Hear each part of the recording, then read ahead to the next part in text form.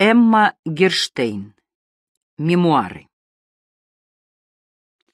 Вблизи поэта. В санатории. В первый же день приезда я обратила внимание на одну пару. В столовую вошла молодая женщина с умным лбом, чем-то изысканная. За ней муж с сухим надменным лицом, нижняя губа длиннее верхней, изящный птичий нос, высокий лоб с большими залысинами, седоват. Вероятно, профессор-искусствовед из Государственной академии художественных наук, — подумала я. За столом оба внимательно обдумывали меню, совещались, можно ли ему есть печенку. У женщины был тихий, приятный голос. Печенка оказалась жесткой, а профессор — совсем беззубым. Он стал что-то нервно говорить официантке, начинал попахивать скандалом, но жена сидела молча и окидывала обедающих коротким и тайно лукавым взглядом косо поставленных голубых глаз. Ее выпуклый чистый лоб с широкими висками и спокойное молчание придавали всей сцене характер непонятной серьезности.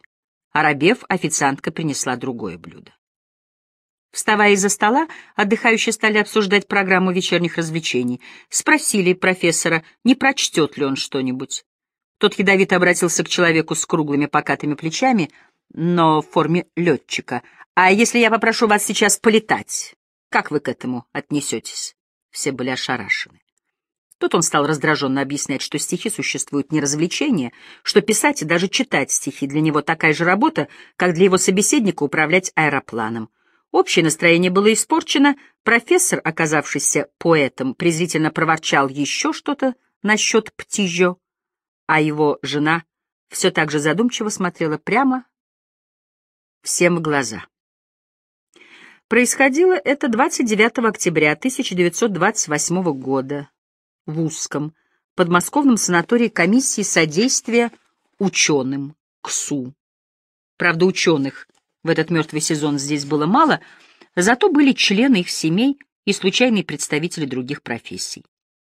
Меня отправил сюда на 10 дней отец, московский хирург. Я принесла тяжелую психическую травму и приехала в узкое, в угнетенном состоянии. Мне было тогда 25 лет. На следующее утро мимо меня прошла по коридору та же пара, он чуточку семенящей походкой, держа ее под локоть, она твердым шагом, несмотря на заметную кривизну ног. До меня донесся обрывок их беседы. По-настоящему я должен вызвать его на дуэль. Слегка подергивая верхней губой, говорил Мандельштам. Я уже знала фамилию поэта. Я была уверена, что он хочет драться со вчерашним летчиком, но ошиблась. Вскоре выяснилось, что нервная реплика Осипа Эмильевича относилась вовсе не к обитателям Узкого, а к его конфликту с писателем Горнфельдом по поводу перевода Тиля Уллиншпигеля. В санаториях и домах отдыха сходятся быстро. 31 октября, в день рождения Надежды Яковлевны, так звали жену Мандельштама, мы были уже знакомы. Она оказалась общительной и затейливой. Ей исполнилось 29 лет. Она шутливо повторяла «один год до нолика». Познакомились мы в библиотеке, она же гостиная. На стенах розетки для радио, но репродуктор отсутствовал, слушали, надевая наушники. Это было любимейшим занятием Осипа Емельевича. Если бы над ободком от наушников не торчал его хохолок, он был бы похож на женщину в чипце. Это его нисколько не заботило. Он садился на тахту с ногами по-турецки и слушал музыку необычайно серьезно. Иногда сиял, подпрыгивая на пружинах. Большей же частью его лицо и даже фигура выражали внимание и уважение. Я не припомню, чтобы Мандельштам называл когда-нибудь имя исполнителя, но всегда отмечал программу «Сегодня Шопен» или «Иду слушать Моцарта».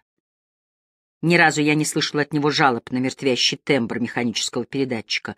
Он был влюблен в радио. Впоследствии я в этом убедилась еще раз, когда Мандельштамы жили в общежитии для приезжающих ученых на Кропоткинской набережной. Гостиная представляла собой квадратную комнату, уставленную по всем четырем стенам диванами без спинок. Одна из приезжих уселась на таком диване, раскрыла книгу и надела наушники. Мандельштам сдерживался некоторое время, наконец выскочил из комнаты, бормоча что-то, и за дверью послышались его быстрые шаги по коридору и возмущенные возгласы. Или читать, или слушать музыку. Гражданка ничего не понимала. Казалось бы, она никому не мешает. «Бал — это система», — воскликнула я в парке Узкого, когда наша спутница заговорила о дореволюционной светской жизни. Мое замечание привлекло внимание Осипа Эмильевича. Вероятно, ему было занятнее выслушивать мои рассуждения о социальном и эстетическом значении праздничного обряда, чем воспоминания дамы о балах в дворянском собрании. С тех пор Мандельштамы часто гуляли со мной одной. Иосип Эмильевич сказал в придаточном предложении, «Мы все трое такие беспокойные люди», а я приняла эту фразу как знак признания, снедавшей меня внутренней тревоги. Надежда Яковлевна нашла во мне сходство со своей старшей сестрой. Аня всегда ела одна, не могла переступить порог, приходила и уходила по внутреннему зову, который редко ее обманывал. До революции она училась на историко-филологическом факультете, специализировалась по старофранцузской литературе. Теперь же существовала на случайные заработки, живя у своего дяди в чула небольшой ленинградской коммунальной квартиры. Надежда Яковлевна предполагала, что мне Аня понравится. Так оно и вышло впоследствии, когда Анна Яковлевна приезжала в Москву. Я ее полюбила, и она относилась ко мне с доверием. Но все-таки в узком говорилось о психически неполноценной женщине, вышибленной из жизни. Аналогия была не так уж приятна. А Надежда Яковлевна как будто оказывала мне этим особую честь. Она презирала примитивных людей, предпочитала уклонение от нормы и умела угадывать их в собеседнике или придумывать. И тем не менее, ее сочувственное внимание имело на меня благотворное влияние. Она обладала абсолютной несмущаемостью, и, беседуя с ней, я постепенно избавлялась от присущей мне скованности. Иногда Надежда Яковлевна отказывалась выходить с нами в парк, потому что любила игры, в которых Осип Эмильевич не принимал участия, шахматы, бильярд. В таких случаях мы гуляли вдвоем. От его замкнутости и неприветливости, каким он показался мне в первый день в столовой, не осталось и следа. Осип Эмильевич был склонен к шутке и любопытен к маленьким происшествиям санаторной жизни. А их было достаточно, потому что в доме господствовал монастырский устав. Взрослым людям приходилось ставить у дверей сторожевого, чтобы директор не застал их танцующими фокстрот или выделывающими изумительные коленца Чарльстона. Эти танцы были запрещены. Петь французские песенки не было преступлением. Я, например, так разошлась однажды, что спела под рояль мою любимую французскую песню, ту самую, мелодия которой вскоре стала лейтмотивом в новых временах Чарли Чаплина. А какая-то переводчица с французского подхватила знакомую песенку и исполнила вдобавок еще несколько парижских шансонеток. Тут администрации возразить было нечего, так как в инструкциях такой пассаж не был предусмотрен. Но все-таки было бы спокойнее, если бы больные пели хором «Славное море, священный Байкал» или «Реве Тастогна, Днипр широкий». Обо всех подобных событиях я докладывала Осипу Эмильевичу. Мои внешние впечатления вообще были богаче, чем у Мандельштамов, потому что я жила в общей палате, а они занимали отдельную комнату. Оживленные расспросы Осипа Эмильевича навели меня на сравнение его с некой тетушкой, которая уже не выходила из дома, но узнавала ежедневные новости о жителях Комбре от своей старой служанки. Смотри, Марсель Пруст в поисках утраченного времени. Мандельштам охотно откликнулся на мои слова, и мы несколько дней играли в тетю Леонию и Франсуазу. Заболела Надежда Яковлевна. Целый день Осип Эмильевич был в тревоге и хлопотах.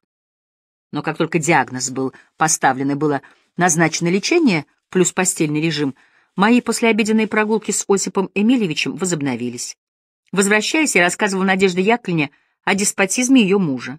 Он не мог себе представить, чтобы я свернула не в ту аллею, которую он наметил.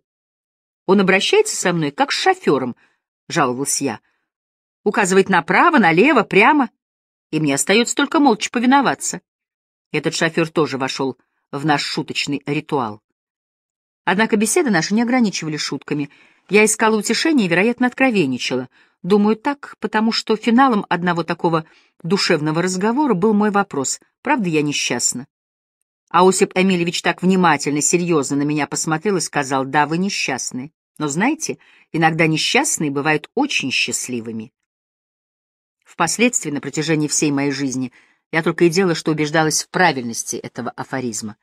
Знакомство с Мандельштамом сыграло таким образом для меня роль посвящения в другую жизнь, где все мирится по особому счету.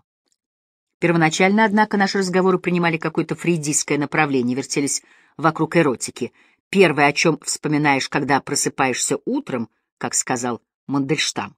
Речь шла об истоках его восприятия жизни. Он сказал, что ничто так не зависит от эротики, как поэзия. Я перебила его. А музыка? Разве она не связана с эротикой? Почему именно поэзия? Потому что я имею некоторый опыт в этом деле, — желчно ответил Мандельштам и внезапно остановился, пораженный догадкой. А вы читали мои стихи? Нет. Он рассердился ужасно. Я стала оправдываться, но я знаю, мне говорили, что в царском селе живет такой замечательный поэт. Мы там давно не живем. Все восхищаются вашими новыми стихами. Какие новые стихи?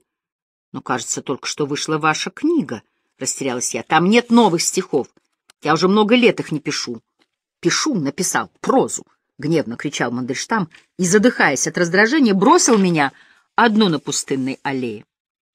В сгущающихся сумерках я следила, как он удаляется от меня, своей странной шаркающей походкой, выворачивая носки. Он почти бежал, минуя дорожки, спотыкаясь и проваливаясь в грязь, пока не уткнулся в полуразвалившийся забор и прислонился головой к перекладине. Позади меня светились окна здания санатория. Как я вернусь туда одна? И что я скажу Надежде Яковлевне? Сконфуженная и озадаченная, я сидела на скамейке. Тем временем медленным и спокойным шагом ко мне приближался Осип Эмильевич. Он сел рядом со мной, глаза его лучились сквозь длинные ресницы, и он стал меня расспрашивать. «Ну, как вы себе представляли этого Мандельштама? Серьезный человек? С большой бородой, да? Выходит из дворца?» Особенно его смешила выдумка о бороде, которой в те годы не носил никто, кроме старомодных профессоров. Мы мирно вернулись в дом, но вечером Надежда Яковлевна все-таки спросила меня, «О чем это вы разговаривали с Осипом Эмильевичем?» Я отчиталась, как могла. «Он просто флиртует с вами», — отрезала она. «Не знаю». Я вспомнил, как он мне сказал, не без досады. «Я бросаю вам мячики, а вы не ловите их». Почему-то Осип Эмильевич во время этих прогулок неоднократно возвращался мыслями к Ларисе Рейснер. То вспоминал эпизод, бывший, кажется, еще до его женитьбы, когда он зашел за ней, чтобы ехать вместе в маскарад, а горничная объявила, Лариса Михайловна жабу гладит. В 60-е и 70-е годы я не раз читала в мемуарной литературе о Мандельштаме тот же анекдот про жабо, но в других вариантах. Откликаясь на какие-то мои рассказы, Мандельштам однажды протянул по-гусарски. Лариса Рейснер тоже была тяжелая артиллерия. От Надежды Яковлевны я уже знала, что он имел в виду. Роман Ларисы Рейснер с Николаем Гумилевым. Осип Эмильевич говорил, что она была гением бестактности. Однажды, уже будучи женой Федора Раскольникова, она присутствовала на дипломатическом приеме. Вошел какой-то французский лейтенант. Он был так красив, что Лариса Михайловна обомлела, встала и шагнула ему навстречу. Так стояли они друг против друга в замешательстве, оба красивые. Но у нее была безобразная походка, — заметила я. — Что? — вы удивился Осип Эмильевич. У нее была танцующая походка. Задумчиво и серьезно глядя вдаль, как он делал всегда, когда искал слово для определения, он добавил, как морская волна. Мы пошли в кооперативный магазин за папиросами и вышли на шоссе. В это время года я никогда не бывала за городом. Я остро воспринимала не только темные пруды и аллеи осеннего парка с таинственно светящимися окнами бывшего господского дома, но и беспорядочно растущие оголенные деревья, низкий серый горизонт, редкие домики по краям дороги. Мне хотелось, чтобы Осип Эмильевич разделял мое настроение. Но нет, слякоть, уныние, убогие здания, бесцветные физиономии встречных, он ненавидел все это. «Я горожанин», — заявил он. Одна из моих соседок по палате, молодая женщина, но такая усталая, что после завтрака снова ложилась в постель, как-то в гостиной обратилась к Осипу Эмильевичу. «Расскажите о Гумилеве». Я думал, он рассердится, отнесется к ее просьбе как к пошлому любопытству. Нисколько. Он описал свою встречу с Николаем Степановичем где-то в пути, чуть ли не на железнодорожной станции. Я с пятнадцати лет любила стихи Гумилева и чтила его память, но почему-то не запомнила ни одного слова из рассказа Мандельштама. Помню только тон любви и уважения, каким он говорил о поэте-друге, и заключительную фразу «Это была наша последняя встреча».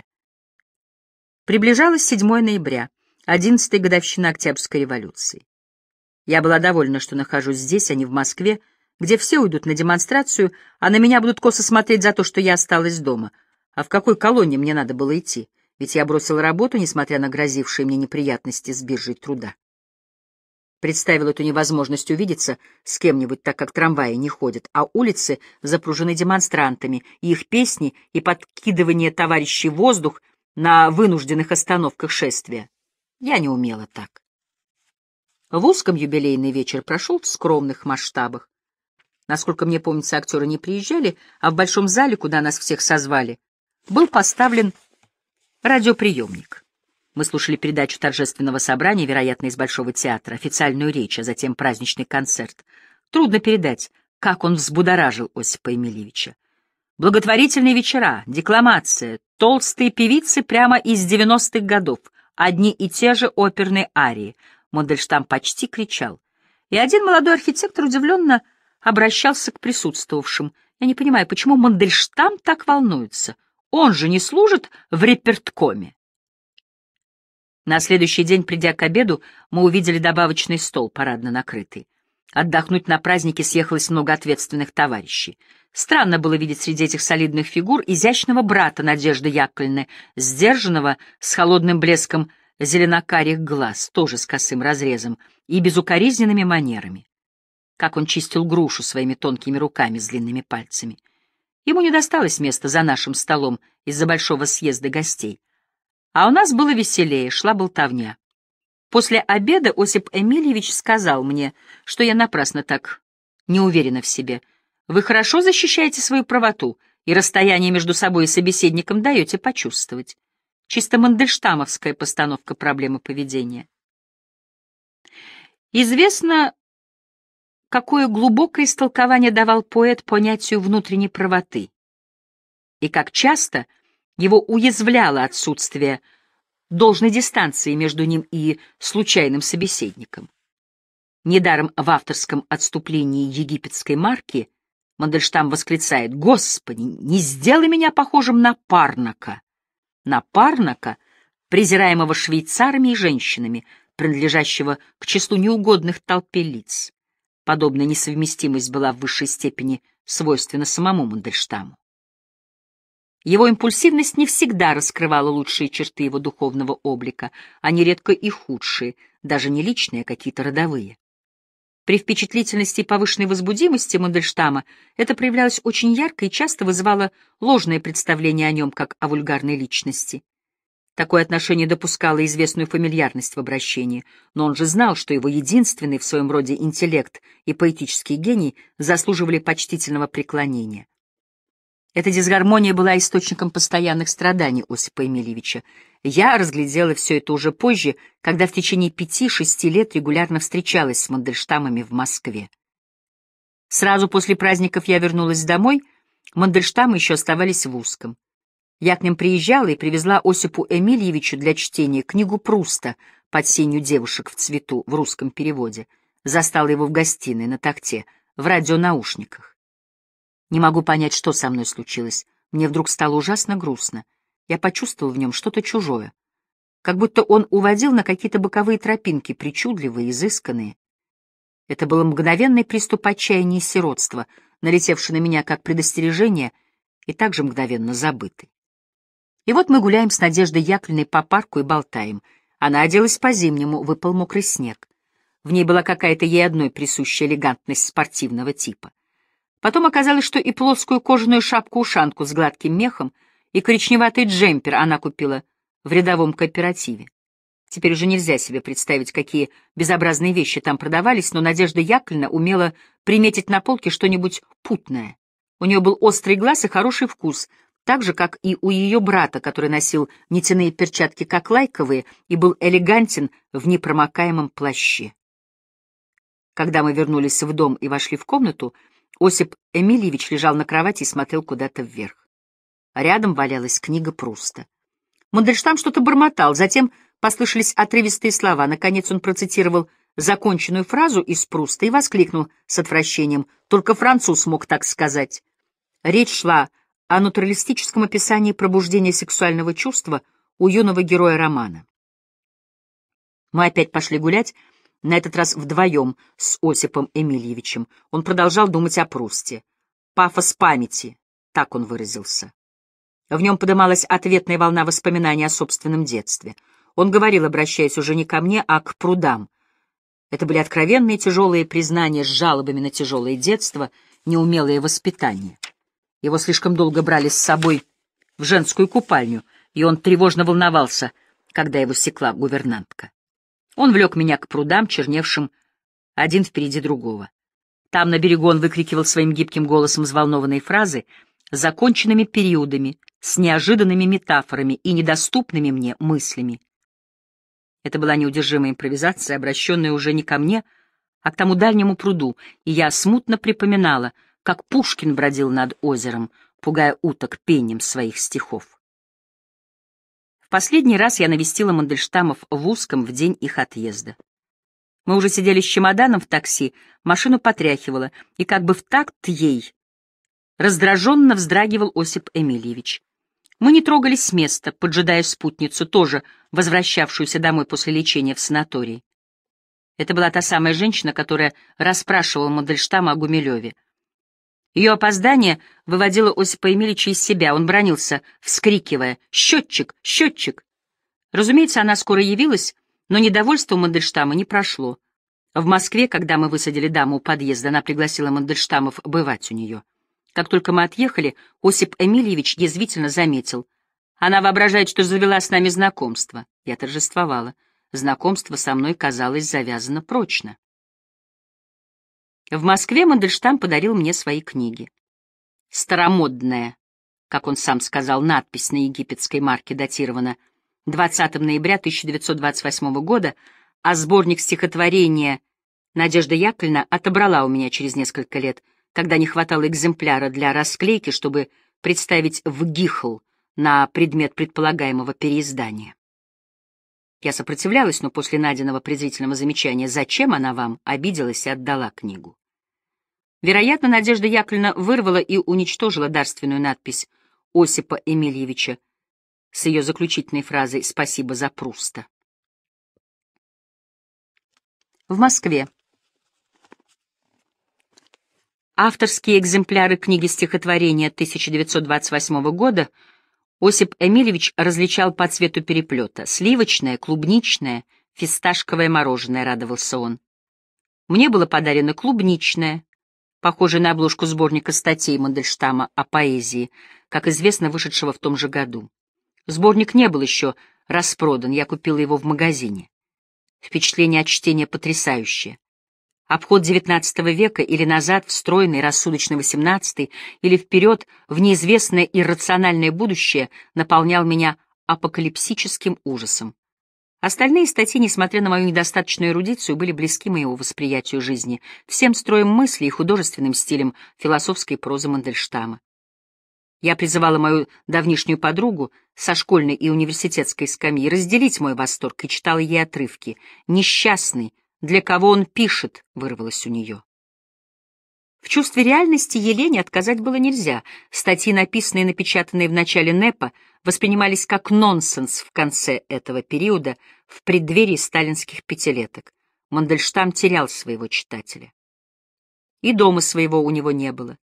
С того дня, как я впервые навестила Мандельштама в комнате Надиного брата на Страстном бульваре, и до 1933 года, когда они получили квартиру в писательском доме в Нащекинском переулке, я бывала у них по самым разным адресам, где они либо гостили, либо снимали комнату.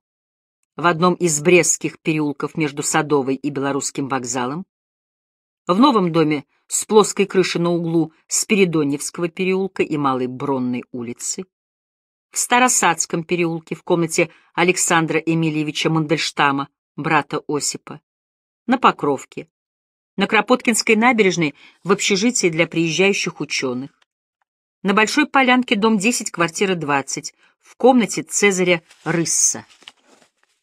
На Тверском бульваре, в правом флигеле дома Герцена, в узкой комнате в одно окно. Там же, в большой комнате, в три или два окна. Да еще в Болшеве, и опять в узком. Два или три раза они жили у меня. Улица Щепок, дом 6, дробь 8. И снова у Евгения Яковлевича, Страстной бульвар 6. И где бы это ни было, я не вспомню, чтобы я видела Осипа Эмильевича за письменным столом. Впрочем, исключения бывали.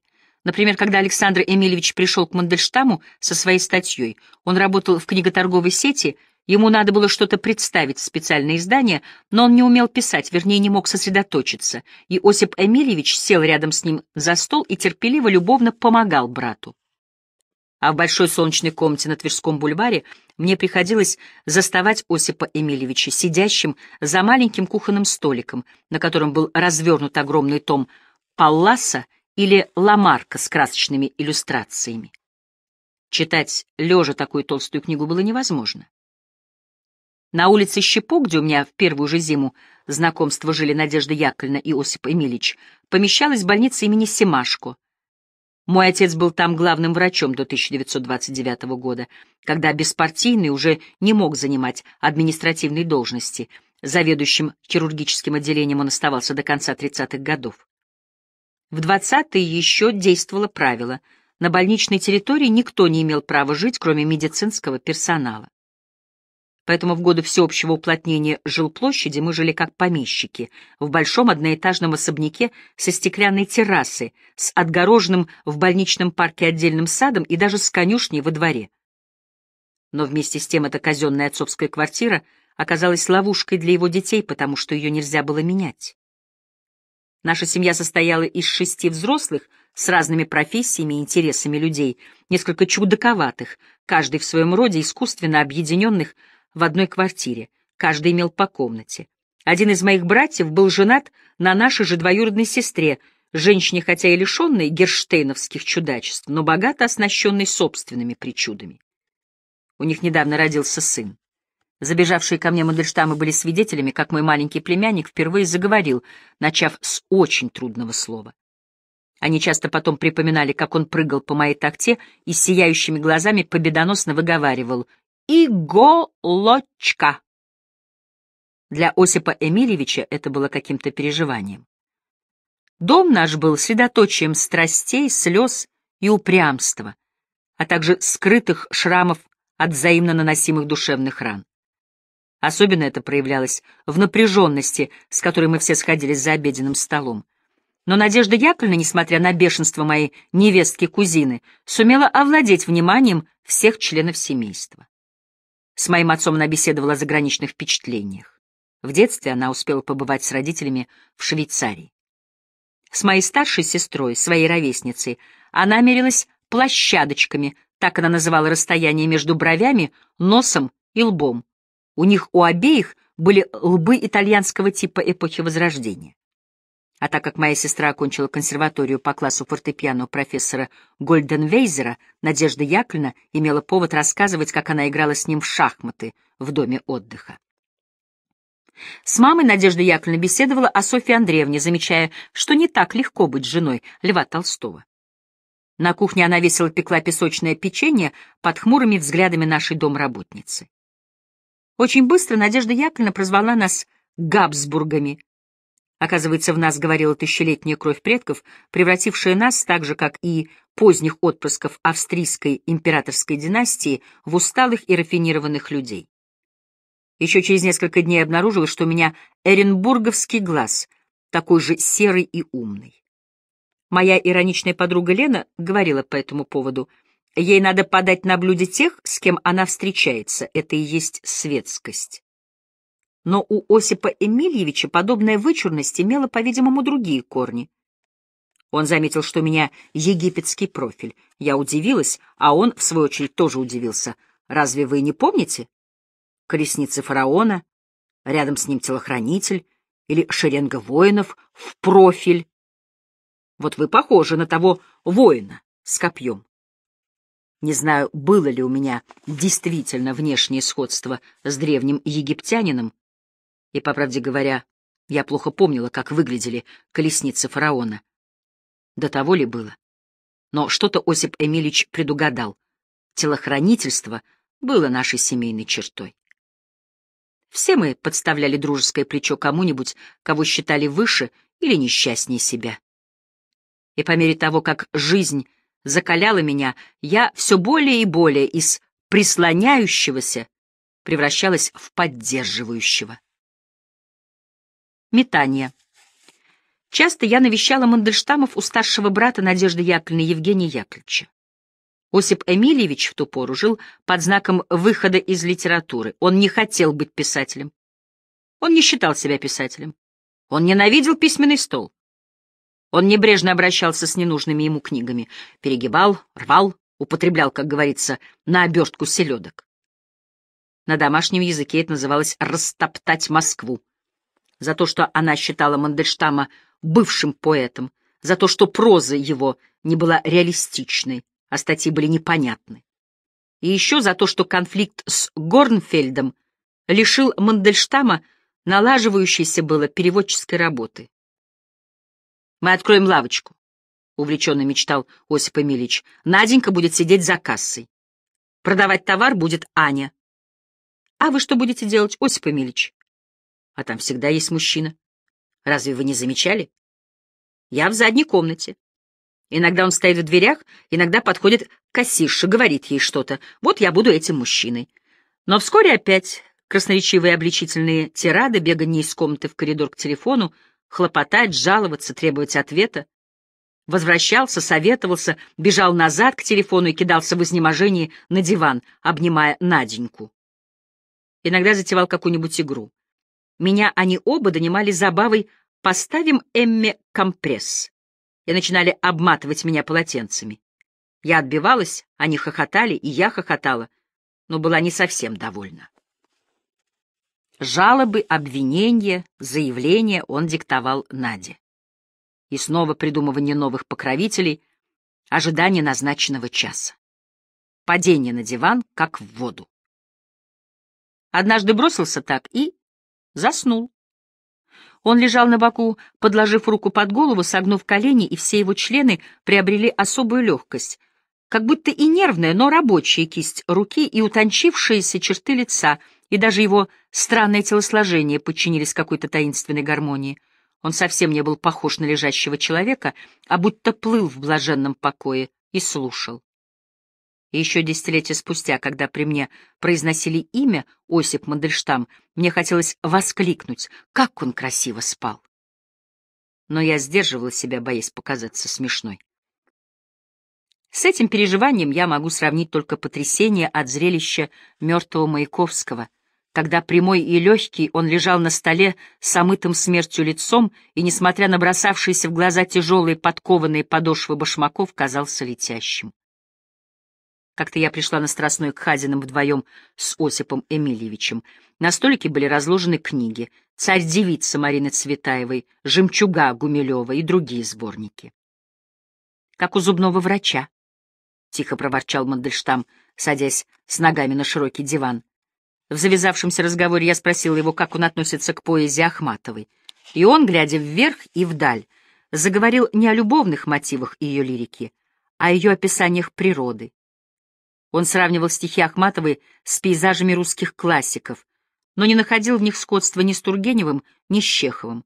Бормотал, перечисляя имена писателей, пока не было найдено единственное определение, выдерживающее сравнение с ее стихами — «Аксаковская степь». Бормотание — одна из его манер говорить. Я насчитывала их четыре. Бормотание — с трудом сдерживаемая эмоциональная реакция или мысли вслух, шевелением губами, подыскиванием слова, почти на ощупь, так? Или не так? Может быть, так? Нет, вот так. И мысль оформлялась в блестящем афоризме, манера номер один, иногда переходящем в бурную импровизацию с сокрушительными логическими выводами, манера номер два. Механических проходных фраз у Мандельштама не бывало никогда.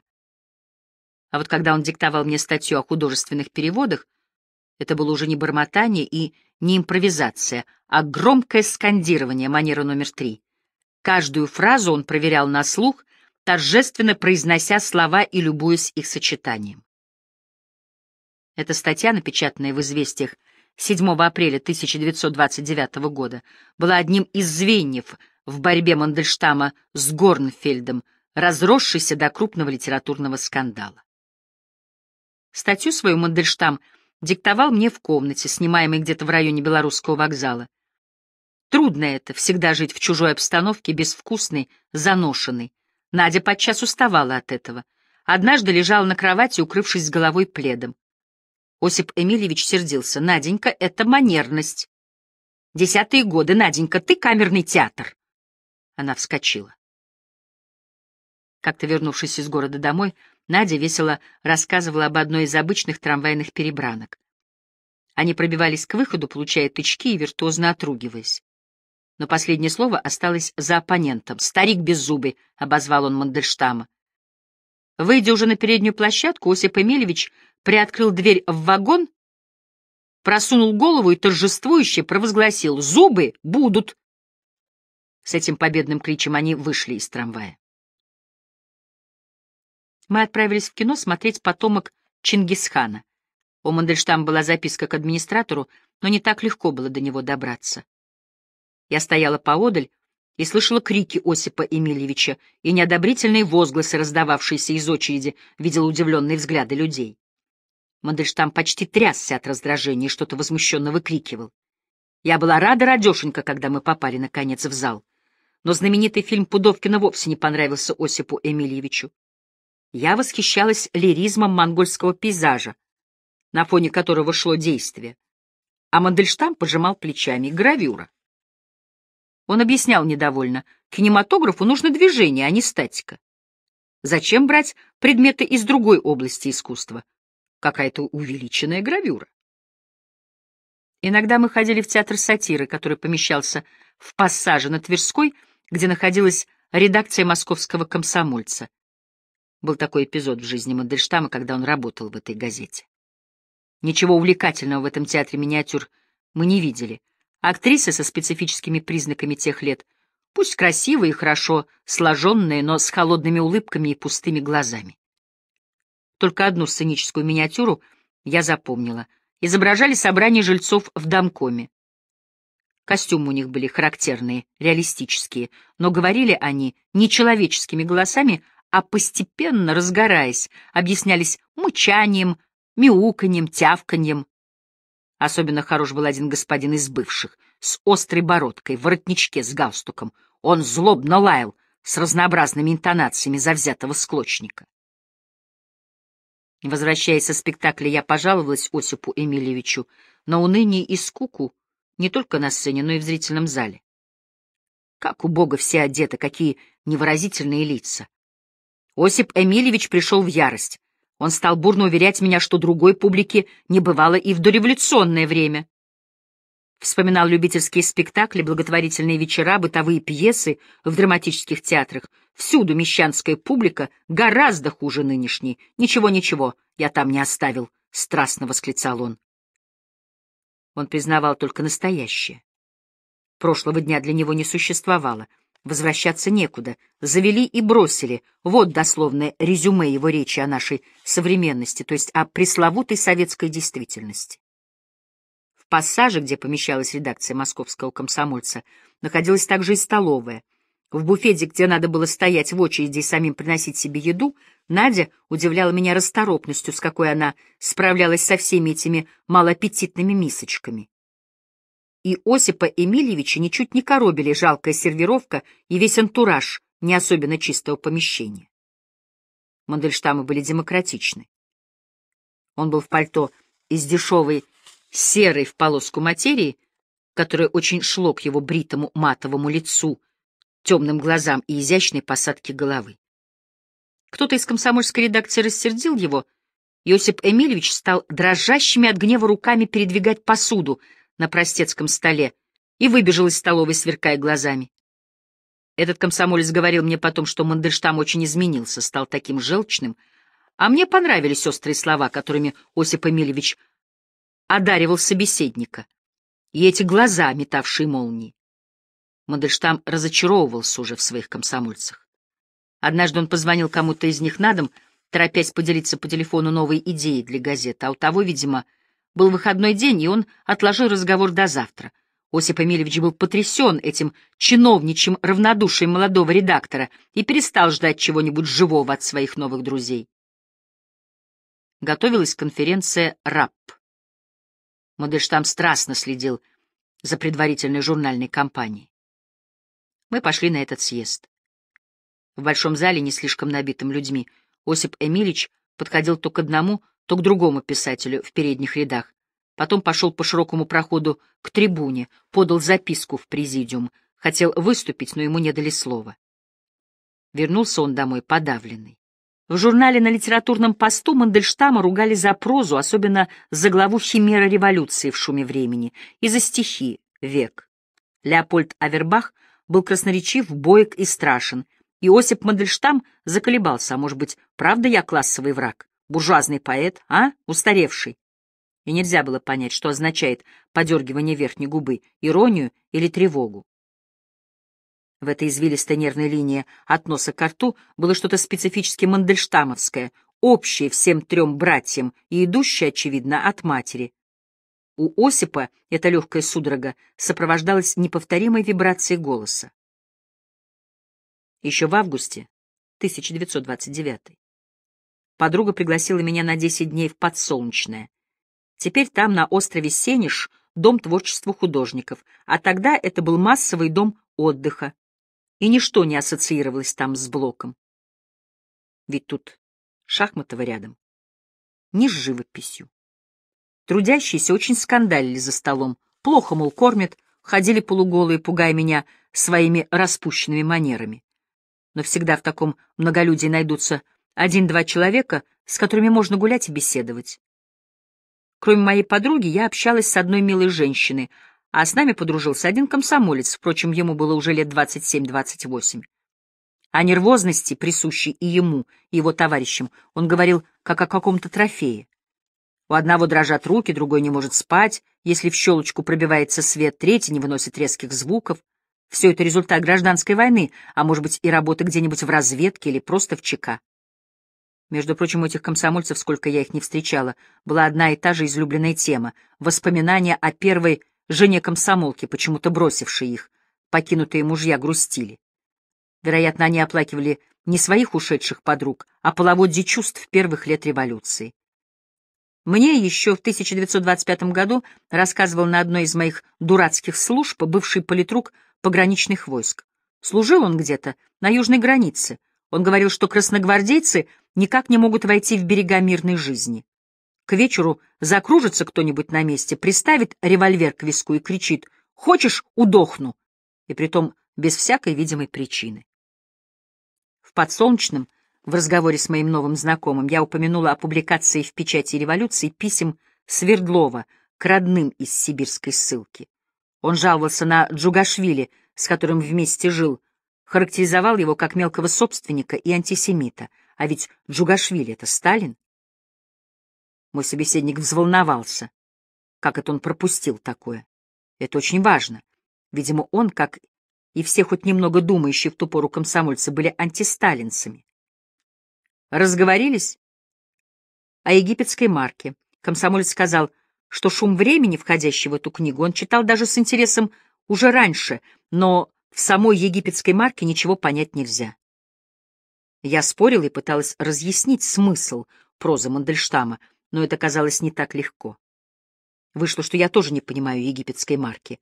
Вернувшись в Москву, я призналась в этом Осипу Эмильевичу. Он объяснил мне очень добродушно. Я мыслю опущенными звеньями. Еще раньше я показывал ему какой-то свой нигде не принятый очерк. Осипу Эмильевичу было ужасно скучно его читать.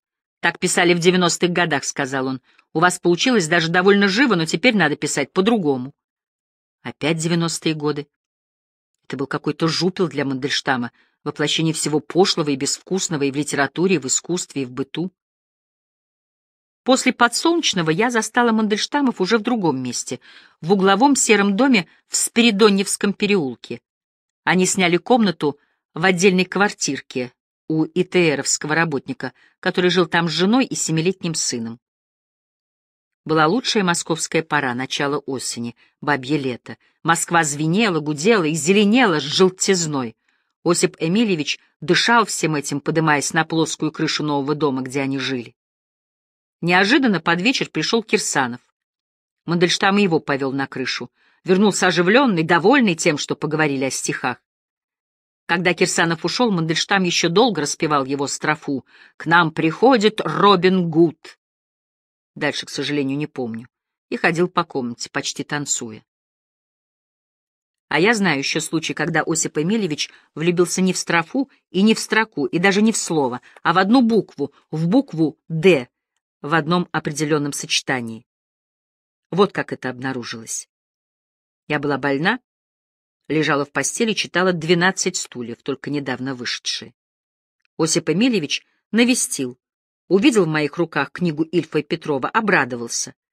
Ему не надо было заглядывать в нее, чтобы цитировать. Он знал наизусть, что оркестр, игравший в московской пивной, состоял из Галкина, Палкина, Малкина, Чалкина и Залкинда. Первые четыре фамилии он произнес скороговоркой, а последнюю — с ударением на последнем слоге, как будто колоду опускал. Залкинда. И здесь голос его гулко и мелодично резонировал. У него были удивительные обертана на нижних регистрах. Он повторял и повторял эти фамилии. Галкина, Палкина, Малкина, Чалкина и Залкинда. Выделял на разные лады слог «да». И хохотал, хохотал. Смеялся Мандельштам не как ребенок, а как младенец. Он раскрывал и закрывал свой беззубый рот, его прекрасные загнутые ресницы смежались, и из-под них ручьем текли слезы. Он вытирал их и мотал головой. Иногда говорил с большим азартом о политике. Борьба с правым уклоном в партии вызвала у него цепь рассуждений, закончившихся простым житейским наблюдением. Все притихли и выжидают, кто победит. В другой раз неожиданными формулировками и строго логическими доводами предрекал новую мировую войну и, присев на краешек дивана, подняв указательный палец, торжественно провозгласил Покупайте сахар. Конечно, это была игра, но мне она показалась странной. В нашем доме считалось презренным делать запасы. В тот день Осип Эмильевич был очень маленького роста. Это с ним случалось. Вообще-то он был классического среднего роста, но иногда выглядел выше среднего, а иногда ниже. Это зависело от осанки, а осанка зависела от внутреннего состояния. Позднее Надя рассказывала, что в Армении на глазах у всех у Осипа Эмилича стала раздуваться на шее огромная опухоль, как зоб, а через несколько часов опала. Теперь такому чуду найдено название — аллергия, но тогда мы ни о чем таком и не слыхивали. Все это свидетельствует о повышенной нервозности Мандельштама. Он пребывал в постоянном внутреннем движении. Отсюда и противоречивые отзывы о его внешнем облике, трудноуловимом для статического портрета. К тому же у Мандельштама — было странное сложение. Я имею в виду разительное несоответствие между нижней и верхней частями туловища. Очень прямая и стройная спина с хорошо развернутыми плечами, изящный затылок, правильной овальной формы голова — все это было посажено на разросшийся в кости таз, очень заметный из-за неправильной постановки ног. Пятки вместе, носки врозь. Это создавало отчасти шаркающую, отчасти и вовсе не поддающуюся определению походку. Может быть, знаменитая запрокинутая голова Мандельштама, производящая впечатление подчеркнутой гордости, была связана с этим недостатком. Эта привычка как бы устанавливала при ходьбе равновесие всего корпуса. Возвращение к стихам. В Старосадском переулке в комнате отсутствующего брата Осипа Эмилича Мандельштамы встретили меня сурово. «Мы бедны. У нас скучно», — обиженно произнес Осип Эмильевич. А Надя стала живописно изображать, как к ним потянулись люди, принося дары, деньги или еду. Даже Клюев явился как-то странно, держа в оттопыренной руке бутербродик, насаженный на палочку. Все, что у меня есть. Если бы литературное имя Мандельштама — не получила новый резонанс после опубликования стихотворного цикла «Армения». Вряд ли этот период безденежья вызвал такое сочувствие в Москве. Даже я замечала по моим знакомым, что атмосфера вокруг Мандельштама оживилась, особенно после продолжения публикаций последних стихов в «Новом мире». Раньше Осмеркин, художник, муж моей подруги Елены, слушая о моей дружбе с Мандельштамами, скептически улыбался. «А, до пятницы?» — дразил он меня прозвищем Осипа Эмильевича. Так он имел обыкновение просить взаймы деньги. А Смеркин рассказывал и другие ходячие анекдоты о Мандельштаме, но теперь стал говорить о нем с уважением. Он высоко оценил новое стихотворение Мандельштама за гремучую доблесть грядущих веков. Между прочим, он отозвался о последней строке «И меня только равный убьет». Тяжело как-то. Но строка не нравилась и самому Мандельштаму. Когда он читал мне это стихотворение, он сказал, что не может найти последней строки и даже склонялся к тому, чтобы отбросить ее совсем. Как ни странно, возвращение Мандельштама к стихам имело влияние на мою жизнь. Стихи звучали. Вот в чем дело. Раньше я только знала от Нади, что Оси читает свои стихи, ритмически разводя при этом руками. Теперь его голос сопровождал важные второстепенные минуты нашей жизни, и от этого повседневность приобретала новые краски и глубокую перспективу. Особенное впечатление производило это преображение реальности в поэзию в стихотворениях еще далеко мне до патриарха и полночь в Москве. Ведь это все было на глазах. Появление трости с белым набалдашником, потому что у Осипа Эмилича начались головокружения и одышка на улице — и это бестолковое времяпрепровождение безработного, бесцельные хождения по улицам или по таким делам, как забрать выстиранное белье в китайской прачечной и вечная забота о дешевых папиросах, как бы не остаться без них на ночь, и прикуривание на улице у встречных. А московская летняя ночь в нанимаемой чужой комнате, в которую вносилась как талисман своя утварь, красивый, но ветхий плед, когда-то в хорошие времена купленный в комиссионном магазине, откуда-то появившиеся кухонные лубочные стенные часы, и в раскрытые окна доносится шум не только засыпающего, но и просыпающегося города. Это ночная проверка трамвайных путей. Она начиналась двумя контрольными ударами молотом по рельсу, и этот гулкий звон долетал во все дома. Нередко что-то подправляли, завинчивали и пристукивали. Все это точно воспроизведено в строфе Мандельштама. Ты скажешь, где-то там, на полигоне, два клоуна засели, бим и бом, и в ход пошли гребенки, молоточки, то слышится гармоника губная, то детское молочное пьянино, до ре ми фа и соль фа ми ре до. Мне не нравились только его, как мне казалось, риторические стихи, такие как «Канцона», «Рояль». Я была в Старосадском, когда к Мандельштаму прибежал Борис Лапин. Он только что летал на самолете и делал мертвую петлю. Тогда были такие сеансы над Москвой. Он удивительно точно интересно описал, как менялось зрительное соотношение между небом, землей и аэропланом, показывал, как надвигалась на него земля. Тут Осип Эмильевич прочел ему свою консону. Но как энергично! Не читал он это стихотворение — особенно акцентируя звук «и» в ударном слове с ростовщической силой зрения. На меня оно снова не произвело ожидаемого впечатления. Осип Эмильевич хотел привлечь меня к беседе, я уклонялась, не зная, что сказать. Он заметил с досадой. «Не притворяйтесь дурочкой». После эреванский период Мандельштамов ознаменовался не только рождением стихов, но и новой дружбой. Я дружбой был как выстрелом разбужен. Еще до того, как я познакомилась с Борисом Сергеевичем Кузиным, Надя мне прожужжала уши об этом замечательном человеке, с которым они встретились в Армении. Он был зоологом, занимался насекомыми и выезжал в экспедиции в Среднюю Азию. Такие люди в ту пору были редкие и воспринимались как экзотика.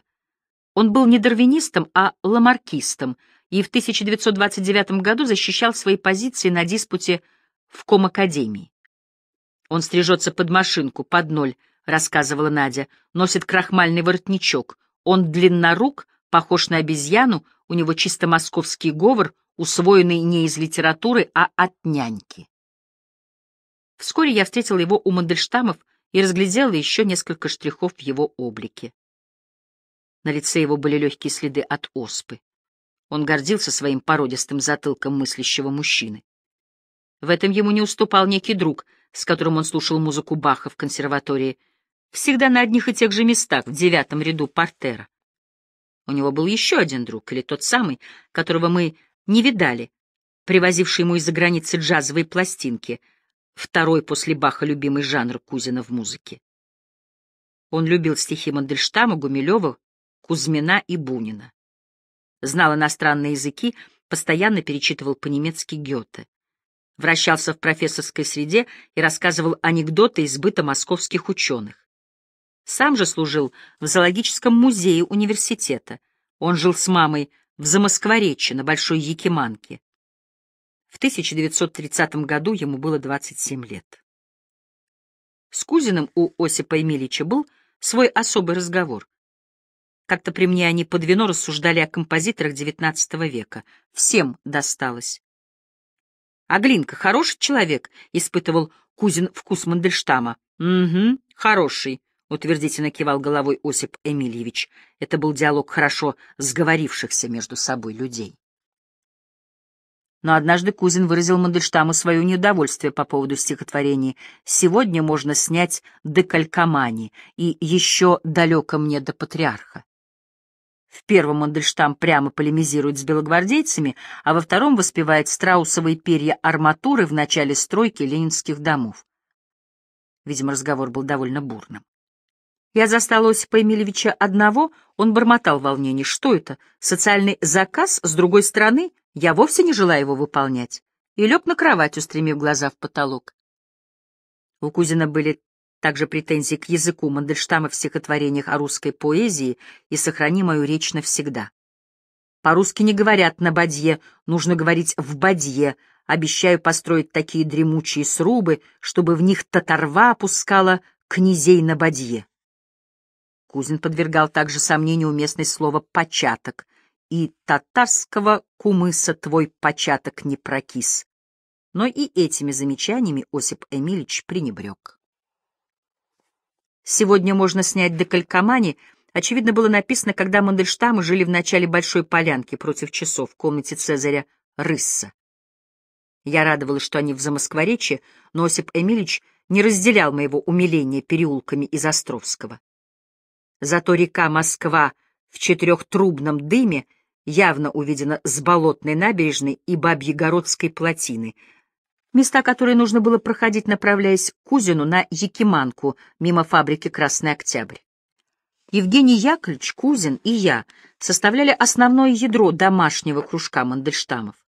Старые друзья тоже появлялись, чаще всего Яхонтов с одной из своих двух жен или с обеими вместе, и еще Маргулис Бержиной. Эпизодически приходили писатели, уже известные молодые. Среди молодежи был переводчик Богоевский. Как-то он принес весть о высылке знакомого. В Москве остались одни сдержанные люди, присовокупил он. В пряный весенний день пришла ко мне Надя и позвонила по телефону Маргулису. «Я не могу, мне хочется кому-нибудь назначить свидание». Легкость ее тона сразу подействовала на меня, как шампанское. Телефонные дурачества кончились тем, что Маргулис пришел ко мне на щепок, чтобы идти с ней же на свидание под часами. Что это был за веселый человек и какой искрящийся дуэт они устроили? У Маргулиса был длинный еврейский нос и немного выпуклый, меняющий цвет, и все-таки непроницаемые глаза. Делая зачем-то мягкий и легкий реверанс, он болтал — рассказывал о невероятных приключениях в обществе деятелей литературы. Он умел быть необходимым всяким людям, и как-то Осип Эмилич заметил, это уже не приспособляемость, а мимикрия какая-то. Надя весело рассказывала, как Маргулис ворует книги, но Мандельштамы его не боятся. «У вас никогда», — заверял он их. В это лето 1931, Маргулис не только сам устроился в газету за коммунистическое просвещение, но и притащил туда Надю. Эта работа, в сущности, очень ей подходила. Годом ранее в поисках заработка она завязала связи с какой-то редакцией. Я ходила туда вместе с ней и видела, как сотрудницы слушали ее, развесив уши. Они заказали ей статью о детской литературе, и она написала хлесткий критический разбор книжек Корнея Чуковского. Она утверждала, что это эпигонские стихи, и демонстрировала литературные источники, из которых он, по ее мнению, заимствовал ритм, рифмы и интонацию крокодила. Статья была выслушана с почтительным восторгом, однако напечатана не была. В ЗКП Надя почувствовала себя очень уверенно и приговаривала. «Я делаю то, что раньше делали сенаторы». По поводу службы Маргулиса и Нади в ЗКП Мандельштам, как известно, сочинил много шуточных «маргулет». Я помню две первые, из которых напечатана только одна. Первая. «Ах, старика Маргулиса глаза! Преследует мое воображение!» С ужасом я читаю в них «за» коммунистическое просвещение. Второе. «Ах, старика Маргулиса глаза не соответствуют своему назначению. Выгонит, выгонит его из «за» коммунистическое просвещение. Когда Надя легла в больницу, Осипа Эмильевича часто навещал Яхонтов. Это было на Покровке в убогой, плюшевой и пыльной обстановке мещанской комнаты. Той самой комнаты, из которой Надя выживала какого-то заскочившего к ним газетчика с спокойным предупреждением. «Сюда не садитесь, ножка сломана», или «Осторожно, здесь натекло» и тому подобное. Это она умела делать виртуозно. Придя туда, я застала однажды Яхонтова во фраке и в цилиндре. Эта экзотика ничуть не резала глаз. Яхонтов вписывался в комнату как отдельный кадр в хорошо рассчитанном пространстве. Осип Эмильевич читал вместе с ним свои шуточные стихи. Они были посвящены драматическому положению, в которое попала хозяйка квартиры. Она прослышала, что в Сибири можно дешево купить даху. Именно для поездки туда она сдала свою комнату Мандельштаму. В Москве оставались ее мать и сын. Но Мандельштамы не могли расплатиться. Для успокоения совести не оставалось ничего другого, как поставить себя выше злополучных обывателей, скандируя сочиненные по этому случаю издевательские стишки. Для вязчего эффекта Яхонтов, проходя из уборной через общую кухню, стащил соседский чайник. Чайник стоял на стуле рядом с цилиндром. Стихи начинал эпический Мандельштам. «Ох, до сибирских мехов охоче была Коронович, аж на покровку она худого впустила жильца. Здесь вступал Яхонтов. «Бабушка, шубе не быть!» — вбежал запыхавшийся внучек. «Как на духу Мандельштам плюнет на нашу даху!» Затем, следуя законам монтажа, по которым Яхонтов работал на эстраде, оба чтеца без паузы переходили ко второму стихотворению на ту же тему, читая его уже хором. «Скажи-ка, бабушка, хе-хе!» и я сейчас к тебе приеду, явиться ль в смокинге к обеду или в узорчатой дахе. Звонкий и мощный голос Яхонтова звучал со спокойной силой, а Мандельштам нарочно выдрючивался нагловатым козлиным тенарком. Особенно лихо звучало у него «хе-хе».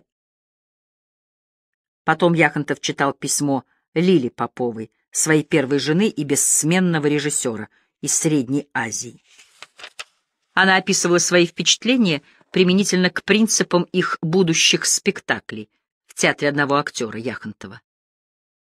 Осип Эмильевич похвалил письмо, но когда Яхонтов прочел свою новую работу, вторую главу Евгения Онегина, произошел конфуз. Мандельштаму не понравилось.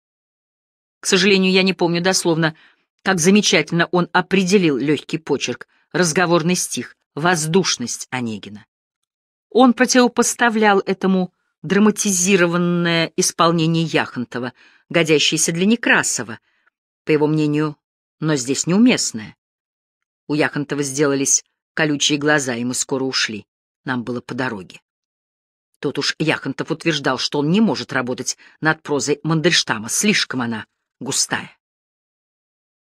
Наш больничный особняк постепенно менял свое лицо. Вначале заселили подвал, Потом от нас оторвали большую залу с аркой, сделав из нее общежитие для медсестер. Все углы и закоулки остальных корпусов тоже были набиты людьми. На больничной усадьбе разместилась целая деревня. Это была родня наших дворников и санитаров. Завхоз прописывал их в Москве и устраивал на работу. В связи с этим уплотнением я заняла в нашей квартире другую комнату. Устроившись, пригласила к себе на скромное новоселье Мандельштамов. Стали садиться за стол, глядь, Осип Эмильч куда-то исчез. Куда он мог подеваться? Его не было ни у телефона, ни на кухне, ни в прочих местах. Наконец я догадалась заглянуть в кабинет к отцу. Папа стоял посреди комнаты и с высоты своего роста с некоторым недоумением слушал Мандельштама, а он, остановившись на ходу и жестикулируя так, как будто он подымал обеими руками тяжесть с пола, горячо убеждал в чем-то отца. Он не способен сам ничего придумать. Воплощение нетворческого начала. Тип паразита. Десятник, который заставлял в Египте работать евреев. Надо ли объяснять, что Мандельштам говорил о Сталине? Очень довольный, Осип Эмильевич вернулся ко мне в комнату. «У вашего отца детское мышление», — сказал он мне. Представления обо всем ясные, но примитивные. Когда мои гости разошлись, папа вошел ко мне. «Слушай, твой Мандельштам, это же форменный ребенок. Он такие дикости говорил. Какой-то детский лепет». Жить Мандельштамом все еще было негде. На какую-то недельку я уступила им свою комнату, сама ночевала у мамы. В своем воинствующем отчаянии Осип Эмилич быстро превратил мою комнату в всколокоченный ад. Белая занавесочка на окне. И вот она сорвана с одного гвоздя и прицеплена уже косо. Чистое покрывало на кровати, ногами его, нечищенными ботинками. Он опускался страстно. Сам этот процесс был для него активным действом становился неузнаваемым, сидеющая щетина на дряблых щеках, глубокие складки морщины под глазами, мятый воротничок. Тут он делался похожим на одного из персонажей моего очень раннего детства в Двинске. По улицам этого города бегал страшно возбужденный человек. В котелке, в пиджачном костюме, с рваными брюками сквозь дыры светилось белое исподнее. Однажды он влетел в магазин, вызывая смех, негодование и жалость. Ему что-то подали и он, изрыгая проклятие и угрозы, устремился к выходу, но, пораженный красотой и нежнейшим румянцем моей девятилетней сестры, остановился, погладил ее по щеке своей грязной шершавой рукой, произнес с невыразимой нежностью по-еврейски «Алебенке» и стремглав бросился вон, снова крича и бронясь.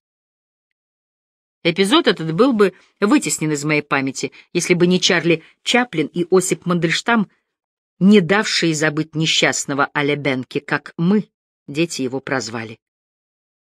Однажды Мандельштам в большом волнении описал только что произошедший эпизод.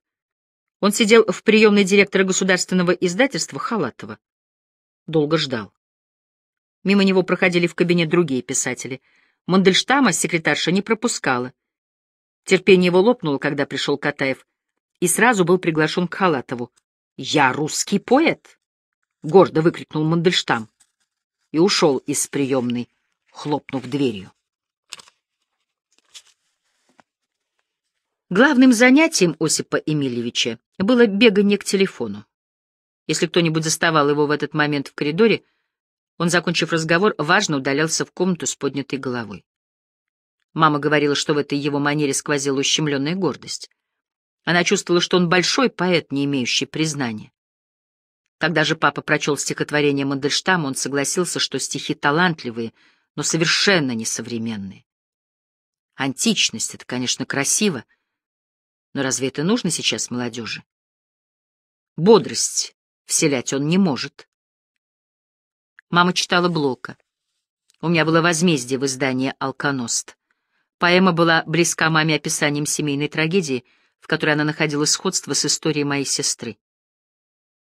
Вся соответствующая глава была исчеркана маминым карандашом. Этот пропитанный слезами и вздохами экземпляр взял в руки Осип Эмильевич. Полистал, полистал, отошел и стал что-то быстро писать на полях. Потом гордым жестом подал мне книгу, говоря, «Вот, можете ее продать». Любой букинист даст 50 рублей. Книга пропала во время войны. И я не могу воспроизвести текстуально ядовитые заметки Мандельштама, подписанные и датированные. Передам только суть, насколько я помню. В предисловии, где Блок перечисляет разнородные события, из которых образовался единый музыкальный напор эпохи, он называет такое. В Киеве произошло убийство Андрея Ющинского, и возник вопрос об употреблении евреями христианской крови. Эта оскорбительно объективная фраза возмутила Мандельштама. Он подчеркнул ее, сделал на полях отсылку к следующей странице. Наконец, осенью в Киеве был убит Столыпин, что знаменовало окончательный переход управления страной из рук полудворянских, получиновничьих в руки департамента полиции. И дал свой комментарий к обеим фразам, пародийно начиная его словами, и возник вопрос. С таким же зачином было написано замечание к некоторым стихотворным строкам поэмы Блока. Полемика была сильной политически острой, и я не перестаю оплакивать пропажу этой книги. Той же осенью 1931 у брата Осипа Эмильевича Александра родился сын. Вскоре Мандельштам любовно назвал его своим наследником.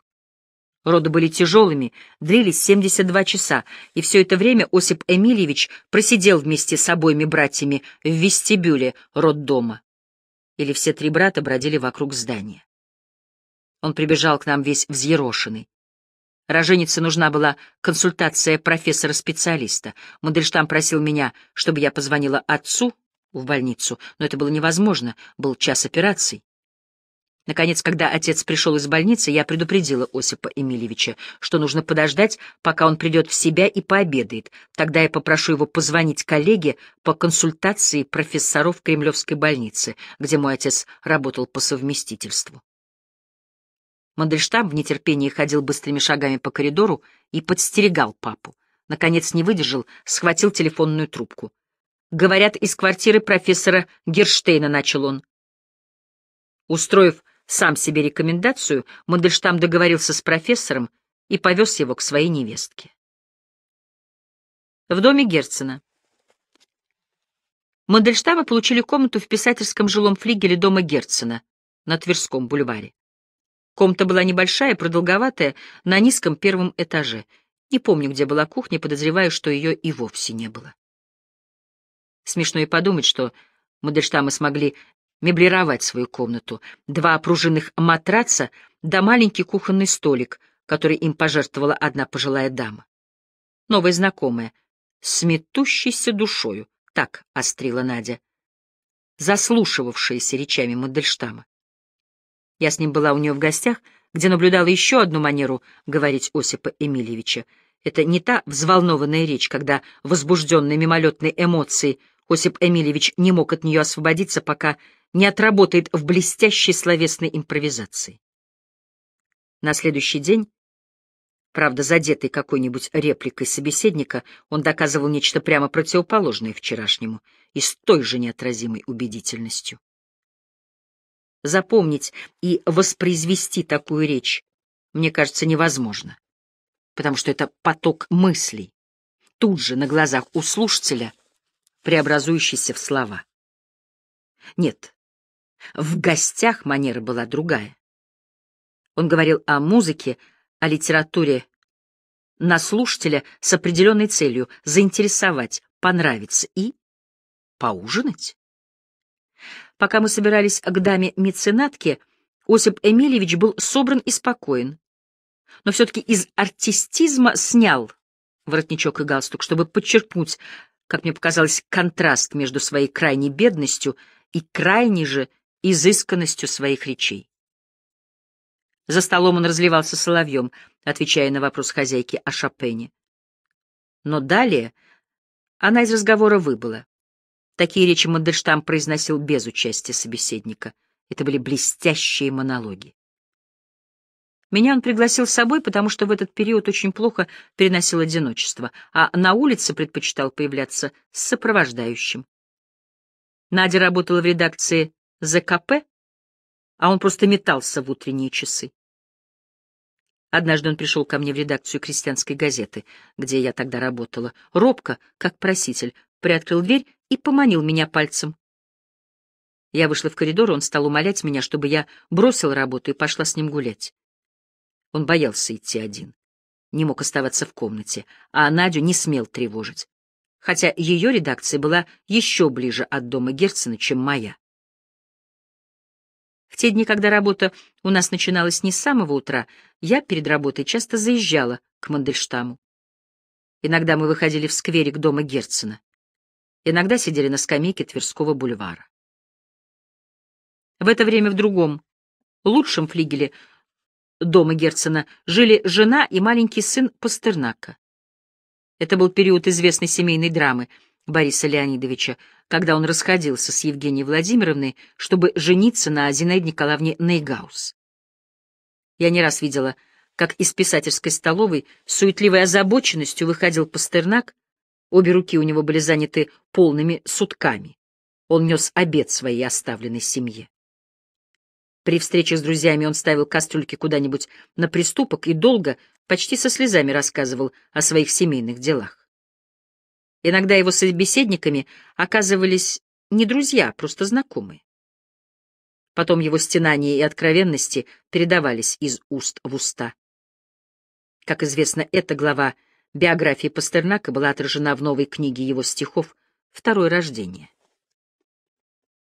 Мы сидели с Осипом Эмильевичем на скамейке Тверского бульвара и обсуждали этот сборник. Конечно, говорил один Мандельштам, но это не был монолог. Это диалог с молчащим собеседником. Нужно было только давать ему легонькие толчки, и беседа польется. Он говорит, бросая прерывистые фразы, а вы сидите рядом и только присутствуете, при том, что рождается мысль. Осип Эмильевич — давно написавший Пастернака «Почитать горло прочистить», с удовольствием повторявший знаменитый, по его словам, каламбур Сильвинского о Пастернакипе и Мандельштампе. Теперь много думал о Борисе Леонидовиче. В его высказываниях мелькали замечания. Пастернака нельзя себе представить вне Москвы. Или Пастернак может писать только у себя в кабинете за письменным столом тогда как он, Мандельштам, вообще не пишет, а как бы высекает на камне. Тут он напомнил о заглавии своего первого сборника «Камень». На этот раз он говорил о втором рождении.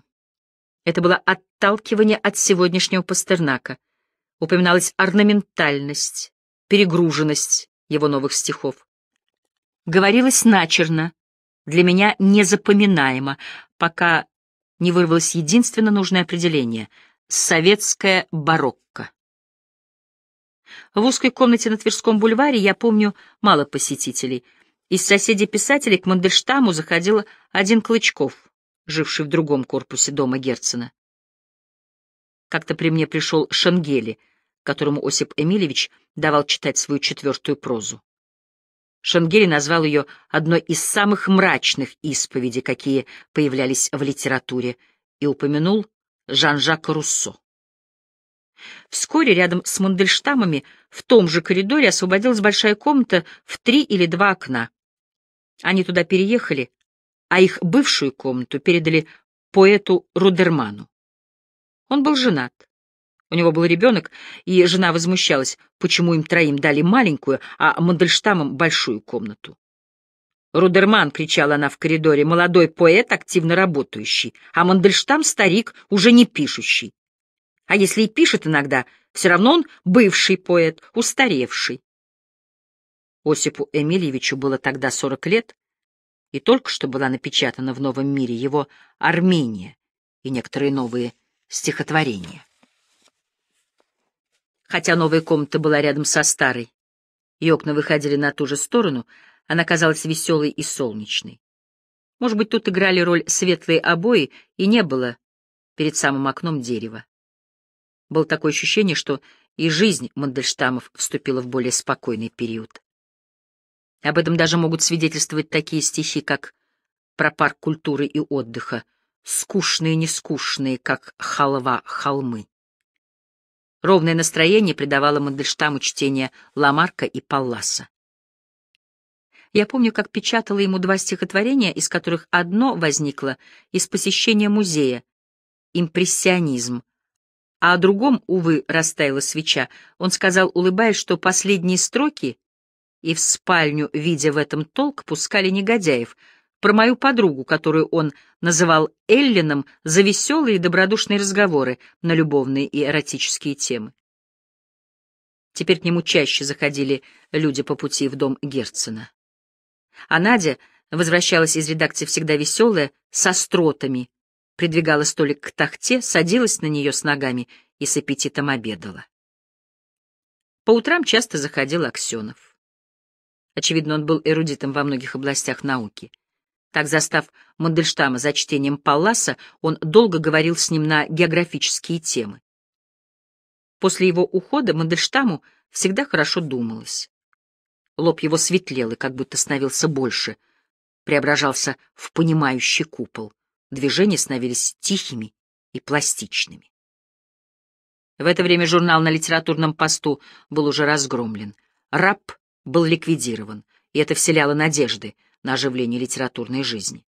Аксенов, беседуя с Мандельштамом об этой злобе дня, признавал Леопольда Авербаха настоящим публицистом и сравнивал его с Писаревым. Мандельштам не возражал. В один из моих приходов я застала Осипа Эмильевича одного, сидящего посреди комнаты на стуле с каким-то томиком в руках. Он перебирал его страницы. «Вот самое гениальное стихотворение Блока!» — вскричал он и прочел. «Как тяжело ходить среди людей и притворяться непогибшим, и об игре трагической страстей повествовать еще не жившим». Было странно слышать знакомые строки в стремительном темпе и патетической интонации Мандельштама и об игре трагической страстей. У него вообще был свой мотив. Однажды у нас на щипке как будто какой-то ветер поднял его и занес к роялю. Он сыграл знакомую мне с детства сонатину Моцарта или Клементи с точно такой же нервной, летящей вверх интонацией. Как он этого достигал в музыке, я не понимаю, потому что ритм не нарушался ни в одном такте. По-видимому, все дело было в фразировке. Для Мандельштама не было разницы, кто сочинил стихотворение, он сам или другой поэт, если стихи были настоящие. Он гордился поэзией. Зависти он не знал. Зашла я днем Помолчали. Внезапно он прочел. И осень, да то ли вопившая выпью, прочистила горло, и поняли мы, что мы на Перу в вековом прототипе, на пире Платона во время чумы. Схватил с полки второе рождение, открыл лето, пробежал с кроговоркой следующую строфу. Откуда же эта печаль Диатима? опять залился на свой мотив. И это ли происки Мэри арфистки, что рока игрою ей под руки лег, и арфы шумит ураган аравийский, бессмертие, быть может, последний залог? С возгласом «Гениальные стихи!» захлопнул книгу и победоносно взглянул на меня.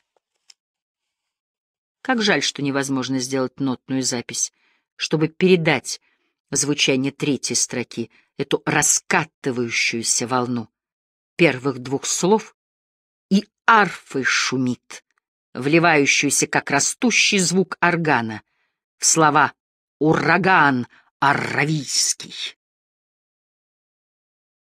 Когда Мандельштам сам сочинял стихотворение, ему казалось, что мир обновился. Он читал его друзьям, знакомым, кто подвернется — в июньское еще весеннее утро зашли мы с Евгением Яковлевичем к Мандельштамам. Осип Эмильевич вышел из дому и, стоя у крыльца, читал нам в зеленеющем дворе новенькое, словно гуляка с волшебной тростью. Он вел стихи как мелодию, от форте к пиано, с повышениями «Ни у кого этих звуков изгибы» и понижениями «и никогда» этот говор валов. Последняя строфа звучала как баркарола, уже со второй строки «Ты горожанин и друг горожан». Некоторые строки стихов Мандельштама я запомнила навсегда звучащими его голосом. Например, глубоко резонирующий певучий звук «о» в слове «соприродные», поддержанный первым односложным «так». В чтении Мандельштама строфа звучала как обрамленная двумя гласными стаккато «а» и растянутым «о». Так в Нагорном Карабахе, в хищном городе Шуше, я изведал эти страхи, соприродные душе. Это фейтончики 1931 года, из которого Надя любила повторять на ходу «Словно розу или жабу он берег свое лицо». А как он подчеркивал ритм фехтования в предпоследней строфе Ламарка. И от нас природа отступила, так, как будто мы ей не нужны.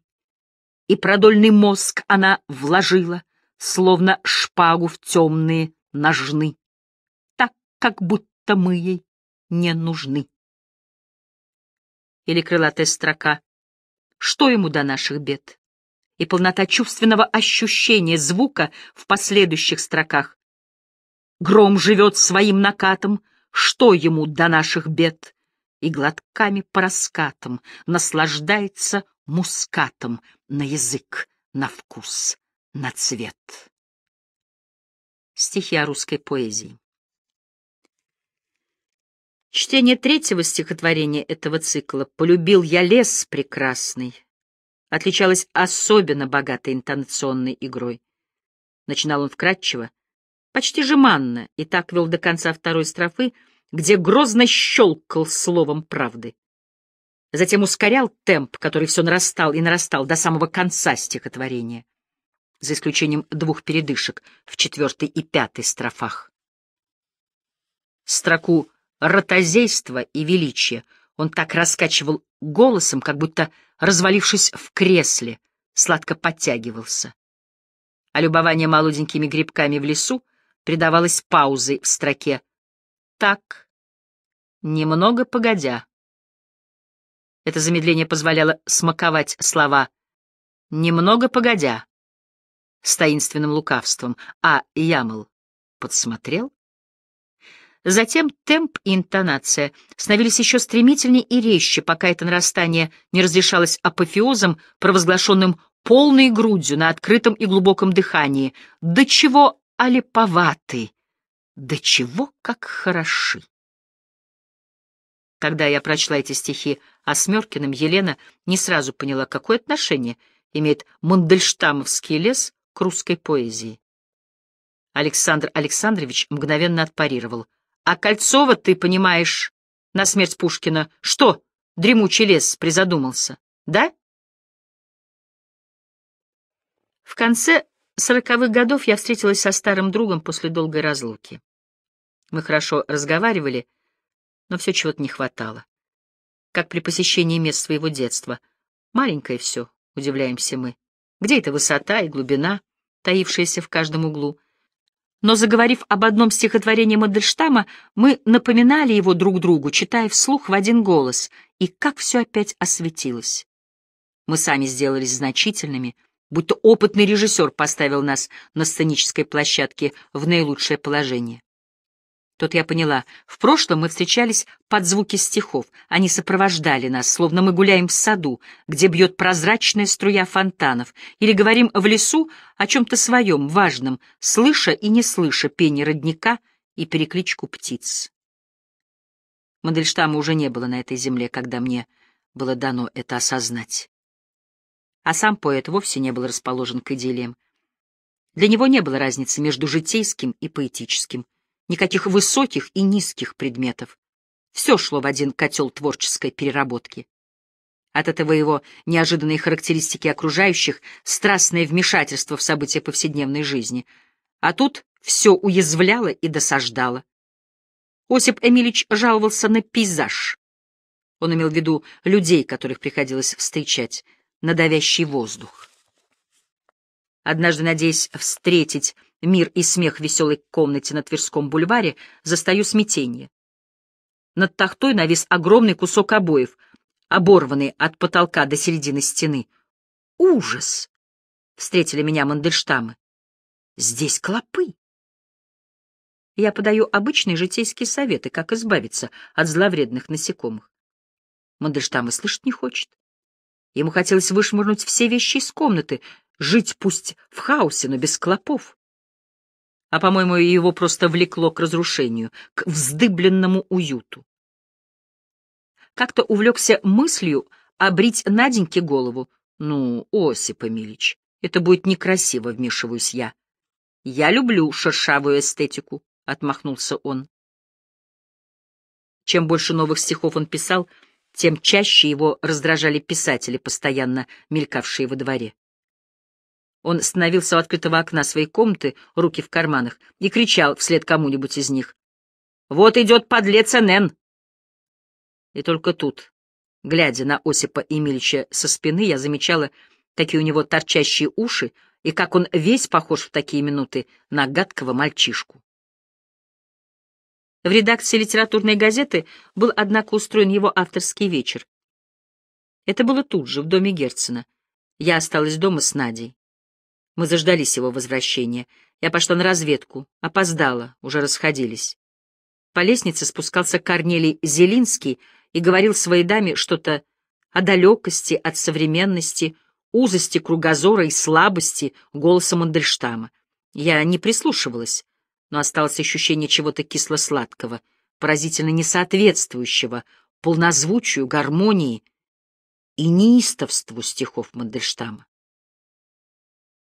Большой вечер Мандельштама в Политехническом музее состоялся в следующем году. Надя опять не присутствовала. Осип Эмильевич не пускал ее на свои публичные выступления. По его желанию, в машине с ним поехала я. В артистической его сразу окружили, и я пошла в зал, заняв место рядом со своей неизменной подругой Леной в одном из первых рядов. На вечер Мандельштама выбрались из своих углов старые московские интеллигенты. Мы с Леной смотрели на эти измятые лица истрадавшихся и недоедающих людей с глазами, светящимися умом и печалью. Особенно мне запомнилась бледность лица художника Бруни, напряженно вслушивающегося в чтение. Он был глуховат. Для такой большой аудитории голос Мандельштама был несколько слаб, ведь микрофонами тогда не пользовались.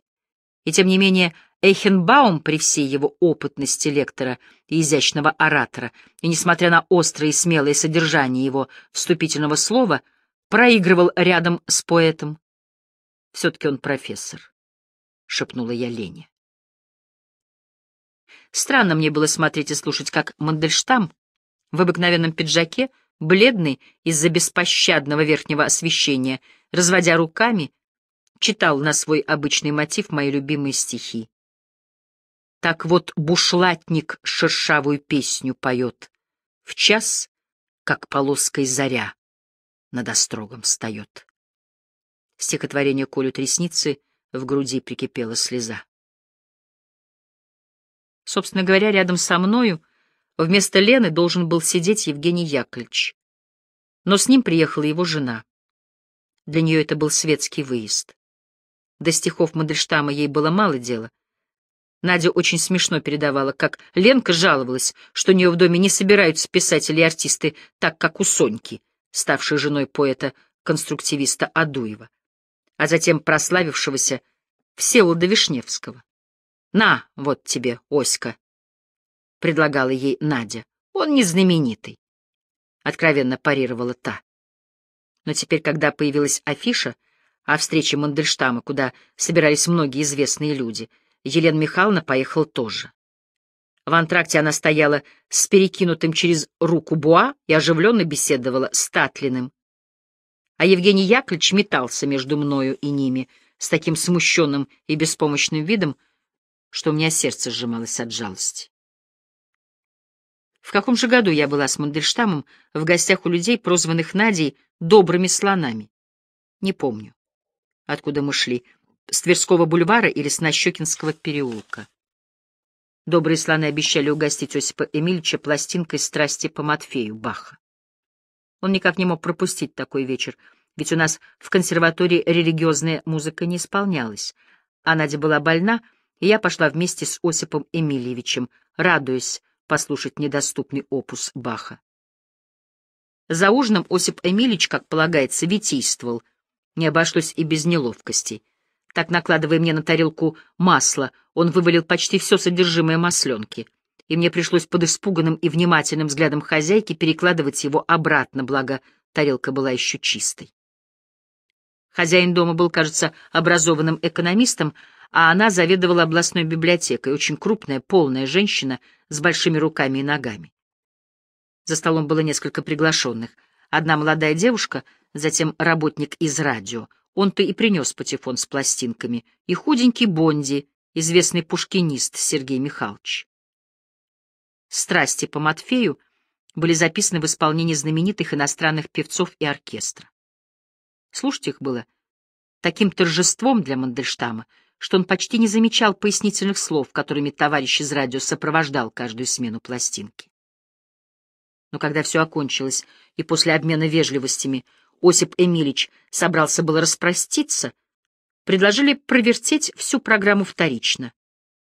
Мандельштам отнекивался, я его поддерживала, однако делать нечего, пришлось подчиниться. Мандельштам слушал, слушал, но повторять только что пережитое было выше его сил. Да тут еще конферансье стал развязнее. Осип Эмилич прервал его и вначале спокойно пытался объяснить присутствующим, что такое пошлость, но после недоуменных реплик гостей распалялся все больше и больше, перешел на крик, кончил пронзительным возгласом «Мы сейчас занимаемся анонизмом!» и в отчаянии бросился вон. Я за ним. Любезный хозяин оттолкнул меня и повел Мандельштама в свой кабинет. Я, мол, сам его успокою. Это ему удалось настолько, что через некоторое время Осип Эмилич прошел ровным шагом в переднюю и сейчас же стал одеваться. Напоследок девушка вынесла из комнаты забытую мною сумку, потрепанную, с оборванной ручкой.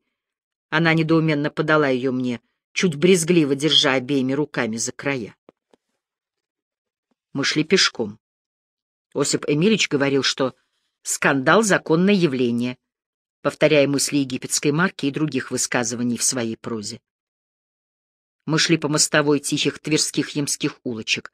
Они были шире и прямее обычных московских переулков. Вот так бы и жить где-нибудь в провинции, мечтал Осип Эмильевич. Жаловался на Москву, на ритмы ее уличной жизни, не созданные для духовной жизни человека. Заговорил о служащих, ежедневно толкающихся в трамваях. Я бы не мог так жить, ужасался он. Вообще он был грустен. Однажды днем открылась дверь. Вошел Шкловский.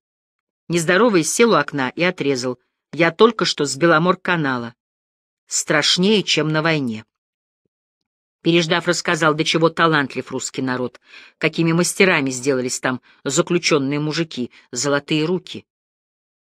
Насколько мне помнится, Шкловский ездил на Беломор-канал для свидания с каким-то своим заключенным родственником.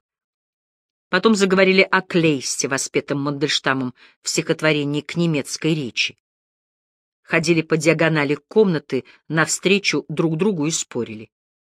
Каждый развивал свою мысль с таким количеством опущенных звеньев, что трудно было что-нибудь понять в этих синкопах.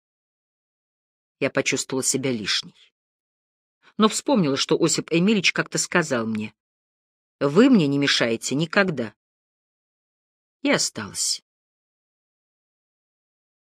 Мы с Надей однажды признались друг другу, что не любим такие стихотворения Мандельштама, как «Консона», «Рояль» и «Ламарк».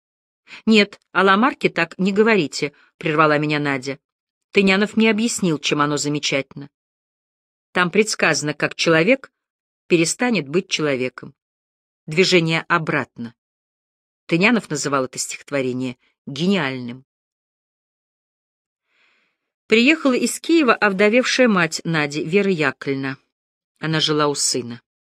Это рядышком, и большую часть времени она проводила у Мандельштамов, чтобы не мешать работать жене Евгения Яковлевича.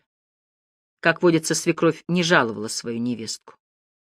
Сегодня она развалилась в кресле, — предразнивала ее Вера Яковлевна. Расхвасталась. Государство в нас нуждается, мы необходимые люди. Речь шла о заказе на художественное оформление праздничной Москвы, который получили художницы Вишневецкая и Фраткина, работавшие совместно. Вот как жены Евгения Яковлевича, бывшие настоящие, стали людьми государственными. Елена Михайловна изредка заходила к Мандельштамам на Тверской бульвар. При ней вошел Клюев. Надя пригласила его к обеденному столу, но он смиренно примостился у низкого подоконника. «Я уж здесь щец похлебаю». Фраткина со своим удлиненным, подгримированным лицом, одетая по-европейски, с деловитой элегантностью, даже рот приоткрыла, с любопытством разглядывая, как этот нищий странник истово и медленно подносит ложку к рту. Впрочем, Надя говорила, что в споре Клюев иногда забывается и начинает говорить как приват-доцент. Тогда в Москве стал обращать на себя внимание Павел Васильев, казацкий поэт, явившийся в столицу из Сибири. Это был 22-летний красавец, кудрявый блондин с вздрагивающими крыльями носа, высокий, на редкость стройный. Осип Эмильевич его полюбил. Васильев платил тем же, часто прибегал, читал свои стихи, охотно беседовал с Надей. Постепенно, за два-три года, он превратился из начинающего поэта в модного, уже попавшего в тот условный высший свет, который образовывался к тому времени в литературной и художественной Москве. Вел он себя шумно. В критике появились на него нарекания, а в кулуарах говорили, что он находится под влиянием Мандельштама. По этому поводу и был сказан Осипом Эмильевичем экспромт. Мяукнул конь, и кот заржал. Казак еврею подражал. Я проезжала в трамвае мимо дома Мандельштамов. Сошла, хотела к ним зайти, но, заглянув в низкое окно, раздумала. Надя лежала на кровати и, важно, внимательно глядя на кого-то своими голубыми глазами, слушала его. В ногах стоял Осип Эмильевич. Перед ними был Звенигородский. Он читал свои стихи. Осип Эмильевич вместе с Надей вдруг увлеклись им, и объявили вторым Тютчевым. Это свело с ума старика, последнего Гедеминовича в России, живущего здесь трудной жизнью, мало приспособленного к современности интеллигента. Однажды пришел Яхонтов с Лилей и Диночкой, обе в одинаковых светлых кудрявых меховых шубах. Козлик. Шубки понравились, но на самом деле Надя восхищалась только Лилей. Она говорила о ней как об уникуме, рассказывала о ее застенчивости, вспоминала, как в детском селе она ни шагу ступить, ни слова сказать не умела. Войдет и, нездоровой, станет молча посреди комнаты. Она была дочерью кочегара поезда, — говорила Надя, жила с родителями в Кисловодске. У нее обнаружился талант медиума, какой-то гипнотизер стал выступать вместе с ней в местном цирке. Яхонтов увидел, влюбился и увез в Москву. Надя рассказывала о Лиле так, что за глаза можно было влюбиться. И однажды Клычков пришел к Мандельштамам и уставился на меня жарким глазом. «Это Лиля?» — тихо спросил он Надю. И совершенно погас, узнав о своей ошибке. Таковы были Надины таланты. У Мандельштамов на Тверском бульваре не было телефона, Иосип Эмильевич попросил меня пойти в автомат позвонить Яхонтову. Позвать, что-то давно его не видно. Яхонтов не мог прийти, ибо был в цейтноте, обычным для эстрадных актеров праздничные дни. Набирали по нескольку выступлений на один вечер и мчались, сломя голову из клуба в клуб. Объяснение Яхонтова не удовлетворило Мандельштама, и он начал его бронить. Что же он ставил ему в вину? Это вечный юноша, ему уже тридцать лет, а он еще весь в будущем — Человек в таком возрасте, живущий одними своими надеждами, неполноценен, сердился Осип Эмильевич. Жить нужно настоящим. Никогда нельзя было предугадать, что он скажет в ответ на самое обыденное замечание. В другой раз он неожиданно отозвался о том же самом Яхонтове в прямо противоположном смысле.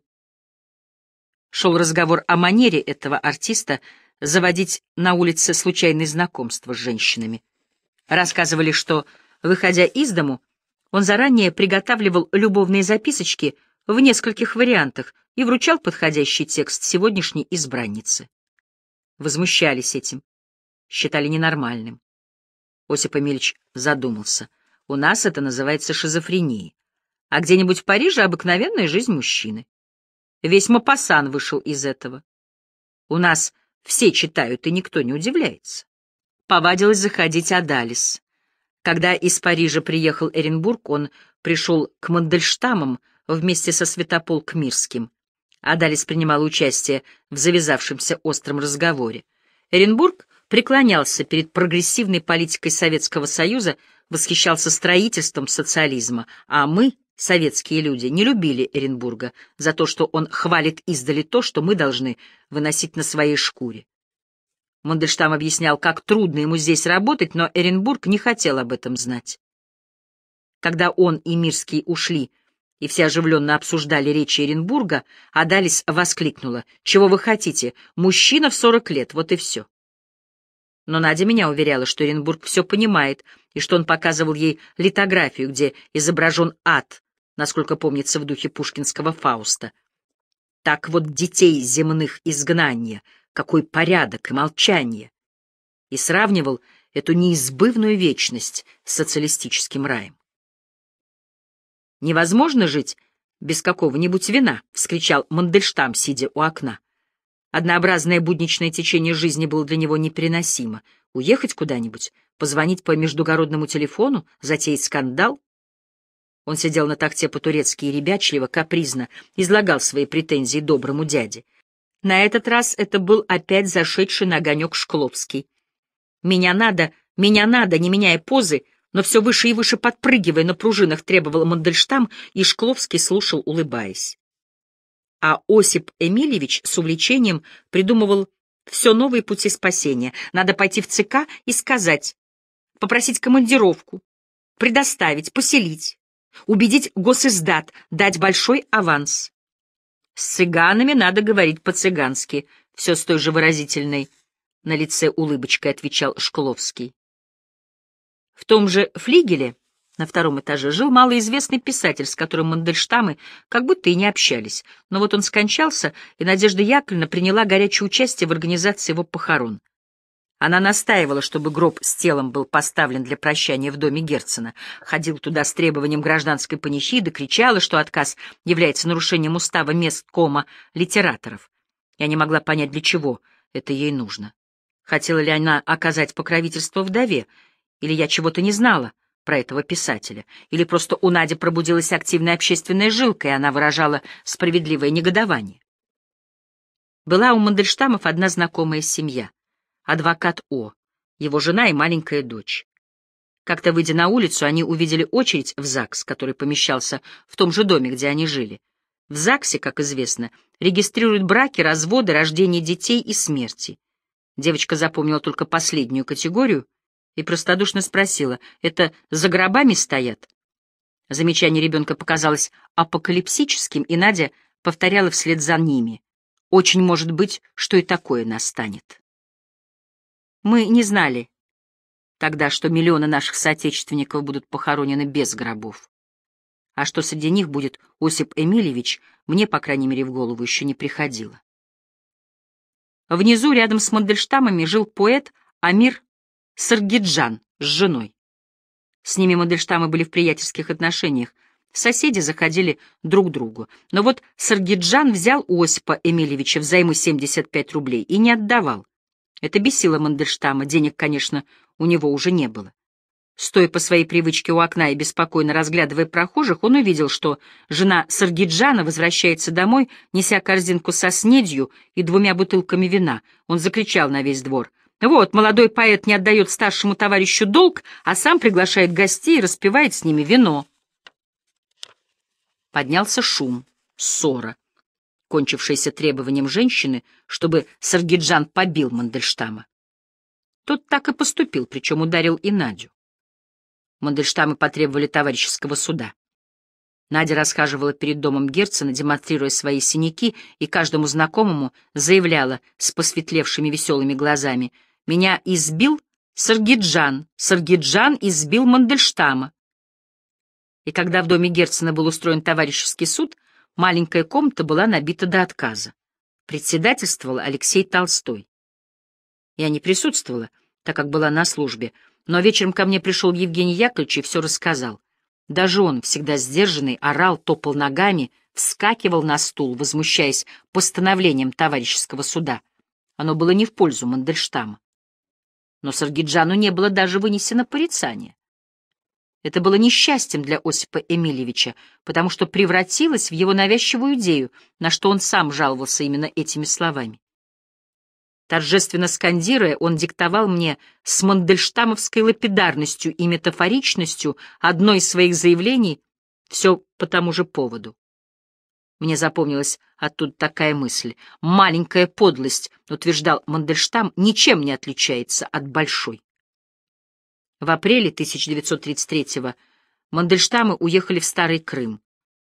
Но еще целый год Осип Эмильевич мучился этой растущей в его сознании распри.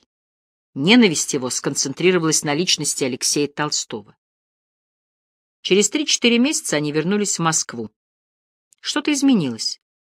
Я это почувствовал при первой же встрече. Но тут же я уехал на месяц в дом отдыха. Когда вернулась осенью, чувство перемены охватило меня еще сильнее.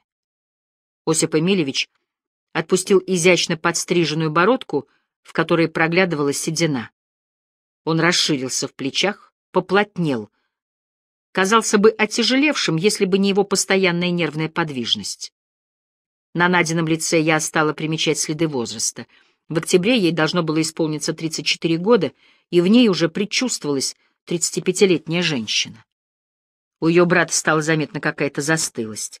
Мне казалось, что эмоции заменены у него рефлексами. А его мать, медик по образованию, еще минувшей зимой заговаривала о том, что у Евгения Яковлевича откладывается известь в сосудах. Осип Эмилич, говоря о нем, замечал, что 40 лет — критический возраст для мужчины. Это барьер, если преодолеешь его благополучно, дальше уже можно жить, не задумываясь о возрасте. У меня с Евгением Яковлевичем произошел в это время разрыв, однако месяца через два мы помирились. Мы не можем поссориться, мы родственники, — объяснял он. Что-то отпало в наших отношениях, но появилось и что-то новое. Другим стал и мой ровесник, тридцатилетний Борис Сергеевич Кузин. Где то воодушевление, те сияющие глаза и звучный смех, с какими он вернулся в тридцатом году из среднеазиатской экспедиции? С каждым годом он становился все мрачнее и нервознее. Иногда от случая к случаю он забегал ко мне, не засиживаясь позже десяти часов вечера и произнося на прощание одни и те же слова «пора к маме, она будет беспокоиться, мне еще нужно почитать перед сном». Он дочитывал вторую часть Фауста. Как я уже говорила, Гёте он читал в подлиннике. Я не понимала, в чем дело, пока Надя не открыла мне, что с ним происходит. Его систематически вызывал к себе следователь. От него требовали, чтобы он стал сексотом, то есть секретным сотрудником ГПУ, осведомителем. Угрожали арестом, уверяя, что недоноситель и сам является контрреволюционером. Подумайте, что будет с мамой, если вас арестуют. Мама умрет. Как вы жестоки. По словам Нади, требования, предъявляемые органами Кузину, относились только к университетским делам. В 1933 году Кузина действительно арестовали, но держали недолго. Мандельштамы пригласили его отдохнуть с ними в Старом Крыму. Там жила Нина Николаевна Грин, вдова писателя. Она появилась в Москве вскоре после смерти мужа и часто потом наезжала по делам литературного наследия Грина. Мандельштамы с ней подружились. Она стала у них своим человеком. На следующий год она как-то расцвела — преобразилась в хорошенькую сорокалетнюю вдовушку и, прогуливаясь под нарядным зонтиком, слегка напоминала кустодиевских красавиц. Приезжала она в Москву и зимой. Борис Сергеевич вернулся из Старого Крыма раньше Мандельштамов. Они направились еще в Коктебель. Там они собирали камешки и беседовали с Андреем Белым, оказавшимся одновременно с ними в писательском доме творчества. Вскоре после возвращения в Москву Мандельштамы переехали на другую квартиру. Этот переезд совпал с новым периодом жизни Мандельштама. В Нащекинском его настиг взрыв поэтической работы и глубокий кризис во всех областях жизни — семейной, профессиональной, политической. Нащекинский переулок, дом 5, квартира 26. Переезд в отдельную двухкомнатную квартиру не был неожиданным. Он готовился исподволь, дебаты велись всю прошлую зиму. Дом был одним из первых кооперативных, и кандидатуру каждого жильца обсуждали сами писатели. При упоминании фамилии Осипа Эмильевича они стонали «Ох, этот Мандельштам!». Я возмущалась, что такому большому поэту не дают квартиры, говорила об этом в доме Осмеркиных. А бывавший там поэт и прозаик Константин Аристархович Большаков возражал, «Вы поймите, Мандельштам не имеет права на квартиру в писательском кооперативном доме. Он даже не член Союза поэтов. Энергия Мандельштамов преодолела все препятствия. Мандельштам был включен в список членов кооператива. Кто внес за него деньги и вообще был ли сделан боевой взнос, не знаю, но какая-то неуверенность чувствовалась и продолжалась до самого последнего дня. По действующим тогда законам жильца нельзя было выселить, если на спорной площади стоит его кровать. Надя прекрасно это знала. И как только был назначен день общего вселения, она с ночи дежурила у подъезда, поставив рядом с собой пружинный матрац. Утром, как только дверь подъезда открыли, она ринулась со своим матрацем на пятый этаж, дом без лифта, и первая ворвалась в квартиру. Помогал ли ей кто-нибудь из друзей, не помню. И вот врезан замок, вселение совершилось. Квартирка казалась нам очаровательной. Маленькая прихожая, напротив — дверь в крошечную кухню, направо — неописуемая роскошь, ванная, рядом уборная. На той же правой стене вход в жилые комнаты, в первую — узкую длинную проходную, за ней такой же длины, но гораздо шире, большая комната, причем обе они начинались близко от дверей, так что первая почти не ощущалась как проходная. Газовой плиты еще не было, поэтому кухня использовалась как третья жилая комната. Она была предназначена для гостей. Стряпали в прихожей на керосинке, а когда, наконец, плиту привезли, то ее и установили там же. Убранство квартиры было замечательным. Его почти не было. В большой комнате на стене направо от входа во всю ширину комнаты были помещены дощатые некрашенные полки, а на них установлены книги из библиотеки Мандельштама, бог знает где хранившиеся все эти годы. Помимо итальянских поэтов я помню Батюшкова, без переплета, кажется, это были опыты, песни, собранные Киреевским, стихотворения Хомякова, Тарантас Сологуба с рисунками Гагарина. Кроме книг в каждой комнате стояла по тахте, то есть чем-нибудь покрытый пружинный матрац, стулья, в большой комнате простой стол и на нем телефон. Эта пустота и была очаровательна. Конечно, во всем доме была прекрасная слышимость. Комната Осипа Эмильевича, большая, граничила с соседней квартирой из другого подъезда, откуда постоянно слышались стоны гавайской гитары. Там жил Кирсанов. Стены были проложены войлоком, из-за этого квартира, очень хорошо отапливаемая, была полна моли. Все пытались ее ловить, хлопая руками. Эти детали откликнулись в квартире Мандельштама стихотворения той поры. В новом жилище обнаружились ранее незаметные черты Мандельштамов, в первую очередь гостеприимство. Угощали тем, что есть, уютно, радушно, просто и артистично желая компенсировать знакомых за свое былое житье по чужим квартирам, Мандельштамы с удовольствием пускали к себе пожить старых друзей. Прежде всего была приглашена Ахматова. Но она выбралась только в середине зимы. Мне еще предстояло ее впервые увидеть. Некоторое время у них ночевал вернувшийся из ссылки Владимир Алексеевич Пяст. В начале его присутствие было приятно и интересно Осипу Эмильевичу, но потом он с удивлением стал говорить об одной утомительной привычке Пяста. Он не ложился спать до трех часов. Хозяева бодрствовали вместе с ним, но вскоре заметили, что Пяст вовсе не склонен поддерживать разговор. Они решили оставлять его с полуночи одного, но убедились, что он и не пишет, и не читает, а все-таки не ложится. «Что он там делает?» — смеялась Надя. «Наверное, молится». Но Осип Эмильевич отрицал это, говоря, «это какое-то бдение». Судя по его описанию, Пяст сидел в сумеречном состоянии, ни сон, ни явь, и не имел силы переменить позу, раздеться, лечь, заснуть.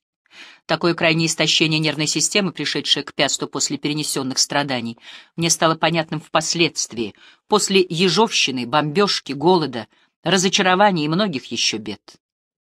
Часто после войны я ловила себя на мысли «я как Пяст». Кстати, подобное пробуждение ассоциаций преследовало меня в 60-е годы, когда я получила в кооперативном доме однокомнатную квартиру. Я без конца занималась хозяйством, радуясь каждой бытовой мелочи и приговаривая про себя «Я Галина Мек». Это опять был след Надиных рассказов. После гибели Осипа Емельевича она некоторое время жила у Галины фон Мек, поселившейся после лагеря в Малом Ярославце. Приезжая в Москву, Надя описывала, как Галина два часа подряд моет свою ночную посуду, медленно и тщательно прибираясь в своей комнате. Такой синдром посленлагерника — наблюдали тогда у многих. Приходил к Мандельштаму ночевать один из бывших сотрудников московского комсомольца. Молодой парень, почему-то очутившийся за бортом, бездомный и нищий. Будем называть его Икс. Однажды вечером я застала Мандельштамов в суете и тревоге. Они бегали в волнении из комнаты в ванную, что-то мыли и вытряхивали. Понимаете? Икс завел у нас в шей. Что делать? Поздно вечером раздался звонок в дверь. Даже Надя при всей своей несмущаемости пришла в замешательство. А Осип Эмильевич открыл дверь и, не впуская Икса в квартиру, сказал просто и прямо, «Вот что, Икс, вы завшивели. Вам надо пойти в баню, вымыться и продезинфицировать всю одежду. После этого приходите. Сегодня, к сожалению, мы не можем вас впустить». Я видела по лицу Икса, что он был поражен ужасом, но обиды не чувствовалось. Это было удивительное свойство Осипа Эмильевича. Важные минуты, а отказать в ночлеге бездомному человеку было очень трудно. У него появлялись решимость и прямота. При нервозности и суетливости Мандельштама это всегда поражало неожиданностью, так же, как его мужественное теплое рукопожатие и открытый взгляд прямо в лицо собеседнику.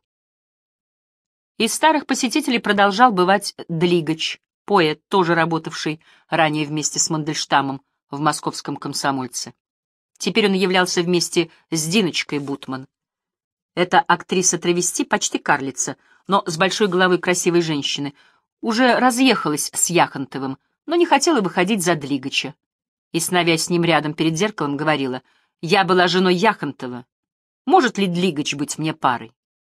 Что касается Лили Поповой, то, оставаясь режиссером и главным сотрудником театра Яхонтова, она была теперь за композитором этого театра. Кажется, его фамилия была Цветаев.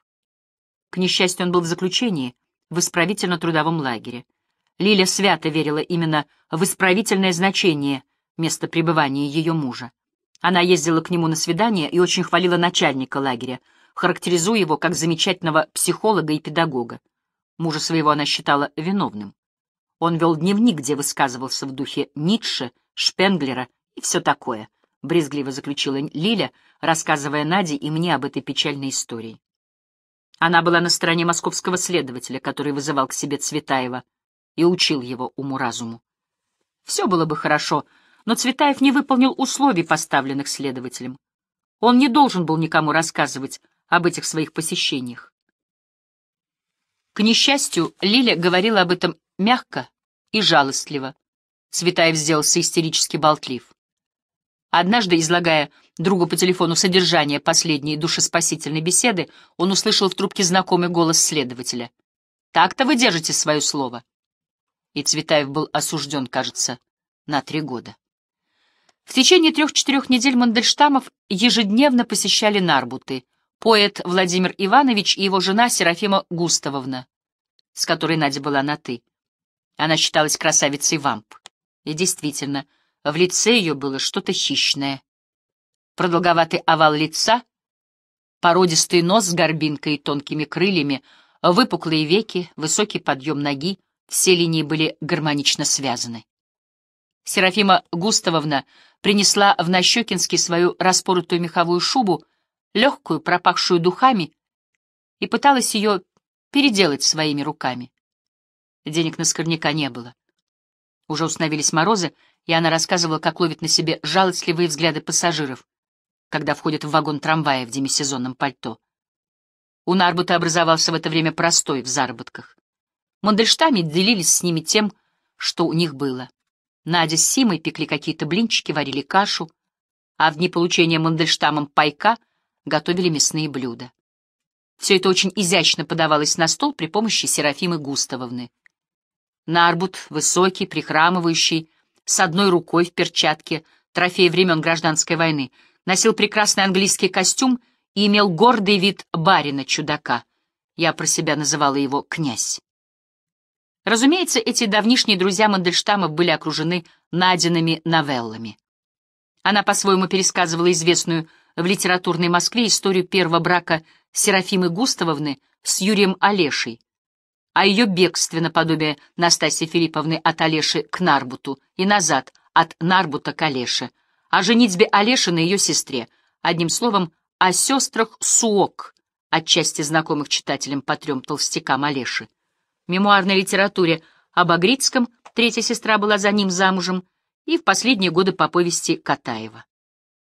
Иногда Мандельштамы таинственно говорили о возобновившейся ревности Нарбута или о какой-нибудь новой выходке Олеши, и тон Осипа Эмильевича приобретал при этом неописуемую важность.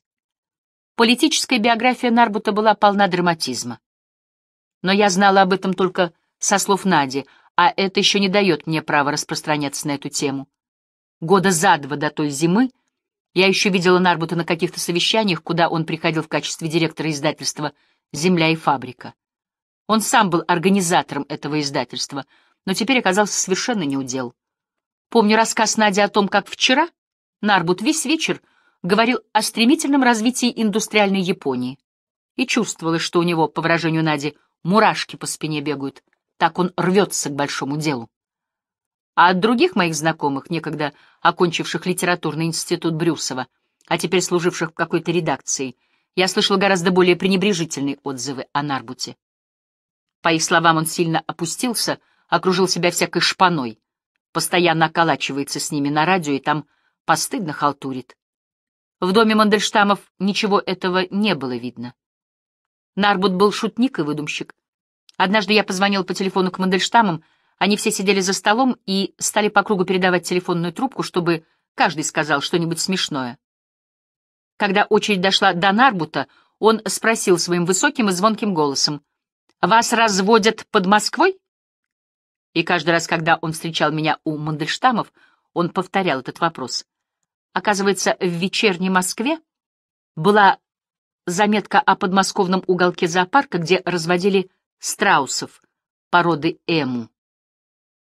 Мне очень хотелось пригласить Нарбута к себе, но весь антураж моего дома не подходил для приема гостей, тем более что Серафима Густавовна была такой хорошей хозяйкой. Даже одного Владимира Ивановича я бы не решилась позвать к себе на студенческий чай. Он — князь, а не Хазин или Кузин, с которыми было проще.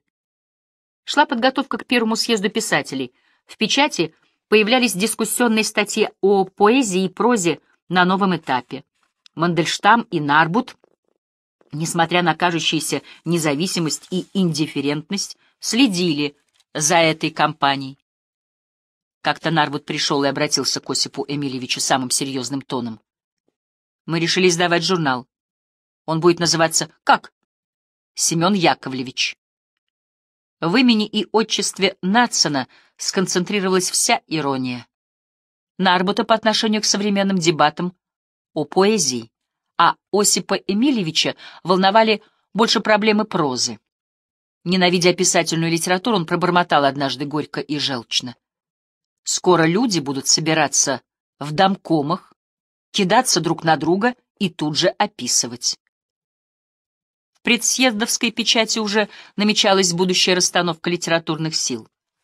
Мандельштам начинал понимать, что ему в этой новой табеле о рангах не приуготовлено никакого места. В то время Бонч Бруевич развернул энергичную деятельность по собиранию рукописей писателей. Он хорошо платил, а деньги были нужны всем. Писатели потянулись в литературный музей. Оценка материала в рублях механически вела к оценке удельного веса каждого клиента. Рукописи Мандельштама оценили в 500 рублей. Оскорбленный Осип Эмильевич вступил в переписку с Бонч-Бруевичем и получил от него корректнейшее разъяснение, что, по общему признанию, Мандельштам является второстепенным поэтом. Эксперты в данном случае недалеко ушли от жены поэта Рудермана, обвинявшей, как я уже говорила, Мандельштама в отсталости. Я и сама осеклась однажды на новом месте моей работы в Центральном бюро секции научных работников.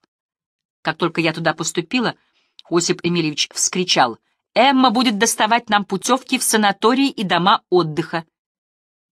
Я послушно заговорила об этом с доцентом, сельскохозяйственником, заведовавшим на общественных началах соцбытсектором. «Мандельштам?» — отозвался он. «Такого поэта нет». Был когда-то поэтом. Мандельштам, еще в 1931 году писавший «Пора вам знать, я тоже современник. Попробуйте меня от века оторвать». Продолжал выслушивать скептические замечания — о своей отдаленности от духа века. Неудивительно, что, вернувшись однажды с прогулки в бесконечно печальном состоянии, он сообщил о только что происшедшем инциденте. Ему встретился какой-то писатель. Тот завел с Осипом Эмильевичем оживленный разговор и неосторожно напомнил, что Мандельштама причисляли к неоклассикам. «У меня палка в руке!» — гневно вскричал Мандельштам. После таких вспышек он всегда бывал очень грустен. Рукопись разговора о Данте, переданная Мандельштамом в госиздат, была возвращена ему без единого полемического замечания, но со множеством вопросительных знаков на полях. Если не ошибаюсь, эти пометы были сделаны рукой Джавелегова. В музыкальном театре Немировича Данченко и Станиславского была поставлена новая инноваторская опера Шостаковича «Леди Макбет Мценского уезда». Я была на одном из первых спектаклей. Приблизительно в пятом или шестом ряду по другой стороне прохода сидел Мандельштам. Он был один. В антракте я подошла к нему. Осип Эмильевич был так взволнован, что, обращаясь к кому-то, сидевшему впереди него, прям-таки воззвал в крайнем возбуждении. «Это вагнеризм!» И продолжал бурно беседовать с незнакомым слушателем. Дело Саргиджана не выходило из головы Осипа Эмильевича. Однажды он лежал на кровати, а рядом сидел Клычков. И в который раз с неотразимым красноречием и пылом Осип Эмильевич описывал ему эту прошлогоднюю историю. Клычков слушал, слушал и спокойно заметил. Конечно, он был неправ. Надо было сначала деньги отдать, а потом бить. Осип Эмильевич не сразу понял, о чем говорит Клычков. Настолько небрежная интонация не соответствовала убийственному содержанию реплики. Но через мгновение он вздрогнул и завопил. «Наденька, выгоним его!» Я в этот момент уходила в ларек за папиросами. У двери на лестницу меня обогнал Клычков, высокий, длинноволосый лесовик, и, покряктывая и усмехаясь, вышел вон. Я скоро вернулась с опаской — рассчитывая встретить бурю негодования. Смотрю, в первой комнате Надя сидит спокойно и рассеянно смотрит куда-то в пространство своим загадочным, скромно-лукавым глазом. Заглядываю в комнату к Осипу Эмильевичу. И что же? Он все так же лежит, а на его постели сидит Клычков. И они обнимаются, целуются. Помирились. Иногда Осип Эмильевич надевал свой хороший костюм, кажется, приобретенный в Торксине на боны из найденного наследства, подстригал в парикмахерской бородку и чувствовал себя петербуржцем. Процитировал в разговоре со мной Клоделя и рассердился. «Вы не знаете Клоделя? Не понимаете по-французски?» На одной площадке с Мандельштамами занимал квартиру писатель, у которого жила молодая домработница Пулька. Подымаясь вместе с ней по лестнице, Осип Эмильевич уже не впервые разглядывал ее породистую красоту. Потом лежал на кровати, размышляя и торжественно поднимая вверх указательный палец, говорил «Это неспроста». Он подозревал, что она вовсе не домработница, и тут скрывается какая-то романтическая или политическая история. Внизу, на первом этаже, напротив Клычкова, жил писатель-сатирик Ардов с молодой женой, актрисой художественного театра, и ее маленьким сыном от первого брака, Алешей Баталовым. Нина Антоновна Альшевская принадлежала к первому послереволюционному выпуску школы Станиславского, который описан в его книге «Работа с актером». Она была красавица смешанных кровей, польской аристократической, русской и татарской. Блестящие черные волосы, смуглый румянец и горячие, по выражению Харджиева, глаза подсказывали ему слово «цыганка», когда он говорил о Нине Антоновне. Вместе с подружками Нины Антоновны, Норой Полонской и Пилявской, составлялся цветник прелестных женщин. Они собирались в этой новой квартире Ардова, где, кажется, кроме трильяжа в углу спальни и тахты никакой мебели еще не было. Ардов познакомился с Мандельштамами, и между обоими домами установились добрососедские, но не слишком близкие отношения. Иногда, ведя к себе домой кого-нибудь из встретившихся на улице знакомых, Осип Эмильевич по дороге звонил в квартиру Ардовых. Если дверь открывала Нина Антоновна, он представлял ее своему спутнику такими словами «Здесь живет хорошенькая девушка» после чего вежливо раскланивался, говорил, улыбаясь, «до свидания», и вел своего гостя на пятый этаж. Нина Антоновна вспомнила об этом в 80-х годах, когда мы с ней встречались с специальной целью записывать ее воспоминания об Анне Андреевне Ахматовой. Таков был бытовой фон, на котором разыгрались драматические события этого переломного для Мандельштама года. Конфликты, большие и малые. Надя привезла из Крыма новое словечко «возвращенцы». Она заимствовала его у Андрея Белого. Он рассказывал о радости встреч с вернувшимися из ссылки. А таковых в его среде было много не только потому, что он принадлежал к высшему слою русской интеллигенции, но особенно из-за антропософов, которых разгромили в двадцатых годах. Как известно, Андрей Белый был деятельным членом этого общества. А Осип Эмильевич, упоминая в своих мыслях вслух о Коперниковом видении мира, связывал свои новые постижения с Коктебелем. Мне казалось, что многое из его слов было навеяно на этот раз беседами с Андреем Белым. И еще мне послышался тогда в его словах отзвук философии Шпенглера. Но я хорошо помнила, как, читая «Закат Европы», Осип Эмильевич раздраженно бормотал «немецкий профессор». Разговоров его на политические темы в это время я не помню. Но он сказал свое слово о кровоточащих ранах современности в стихотворении «Холодная весна», «Бесхлебный робкий Крым». Оно стало известно впоследствии с искажениями, уничтожающими его художественную ценность. Об этом можно судить уже по первому стиху, неправильно напечатанному в американском издании «Холодная весна, голодный старый Крым» вместо «бесхлебный, робкий Крым».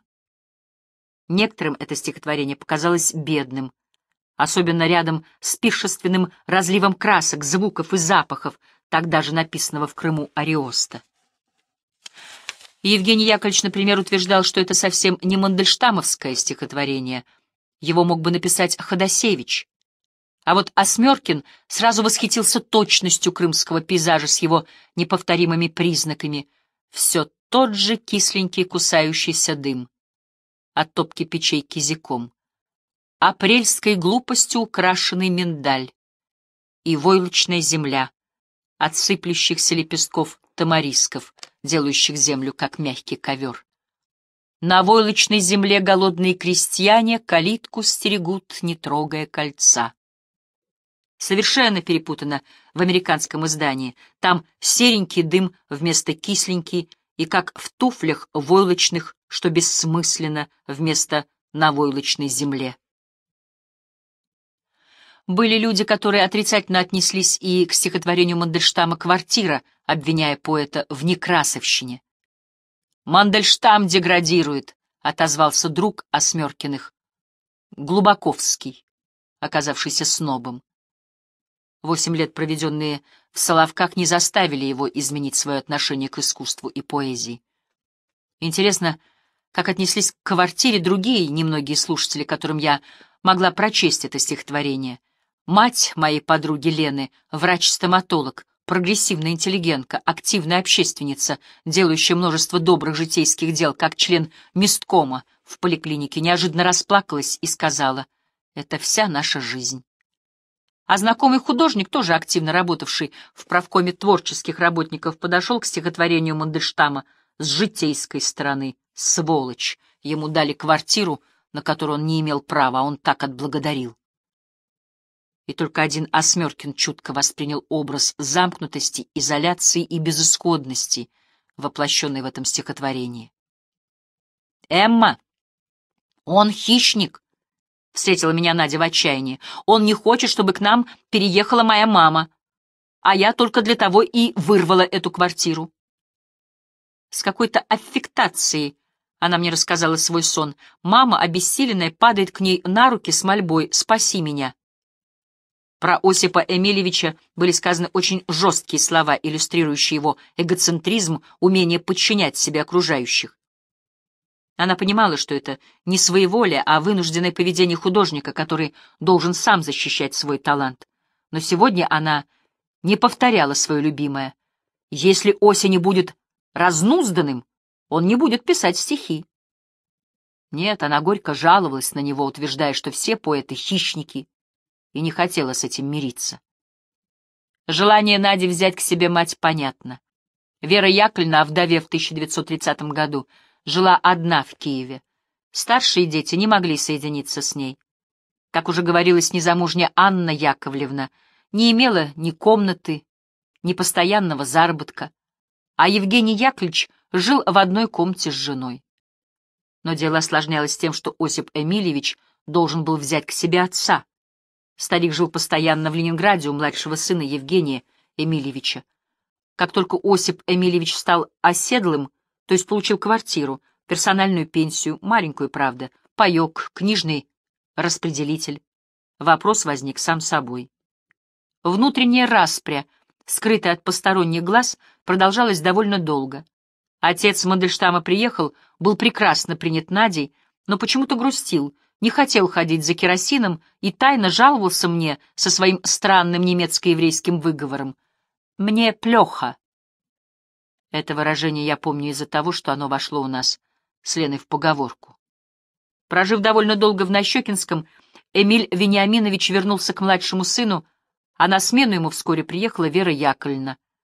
Пока еще не навсегда. И тут у Нади созрел план поселить свою мать в одной комнате с отцом Осипа Эмильевича. Мы были так глупы, что не понимали, насколько это предложение оскорбительно. А когда Вера Яковлевна решительно отказалась, он будет курить, храпеть, чужой старик, ни за что. Надя обратила все это в шутку. Мама женственная.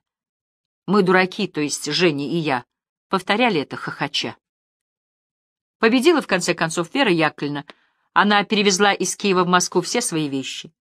Когда широкая никелевая кровать с шарами была поставлена в полупустую комнату мандельштамовской квартиры, обаяние этого артистического жилья было утрачено, но это случилось не сразу.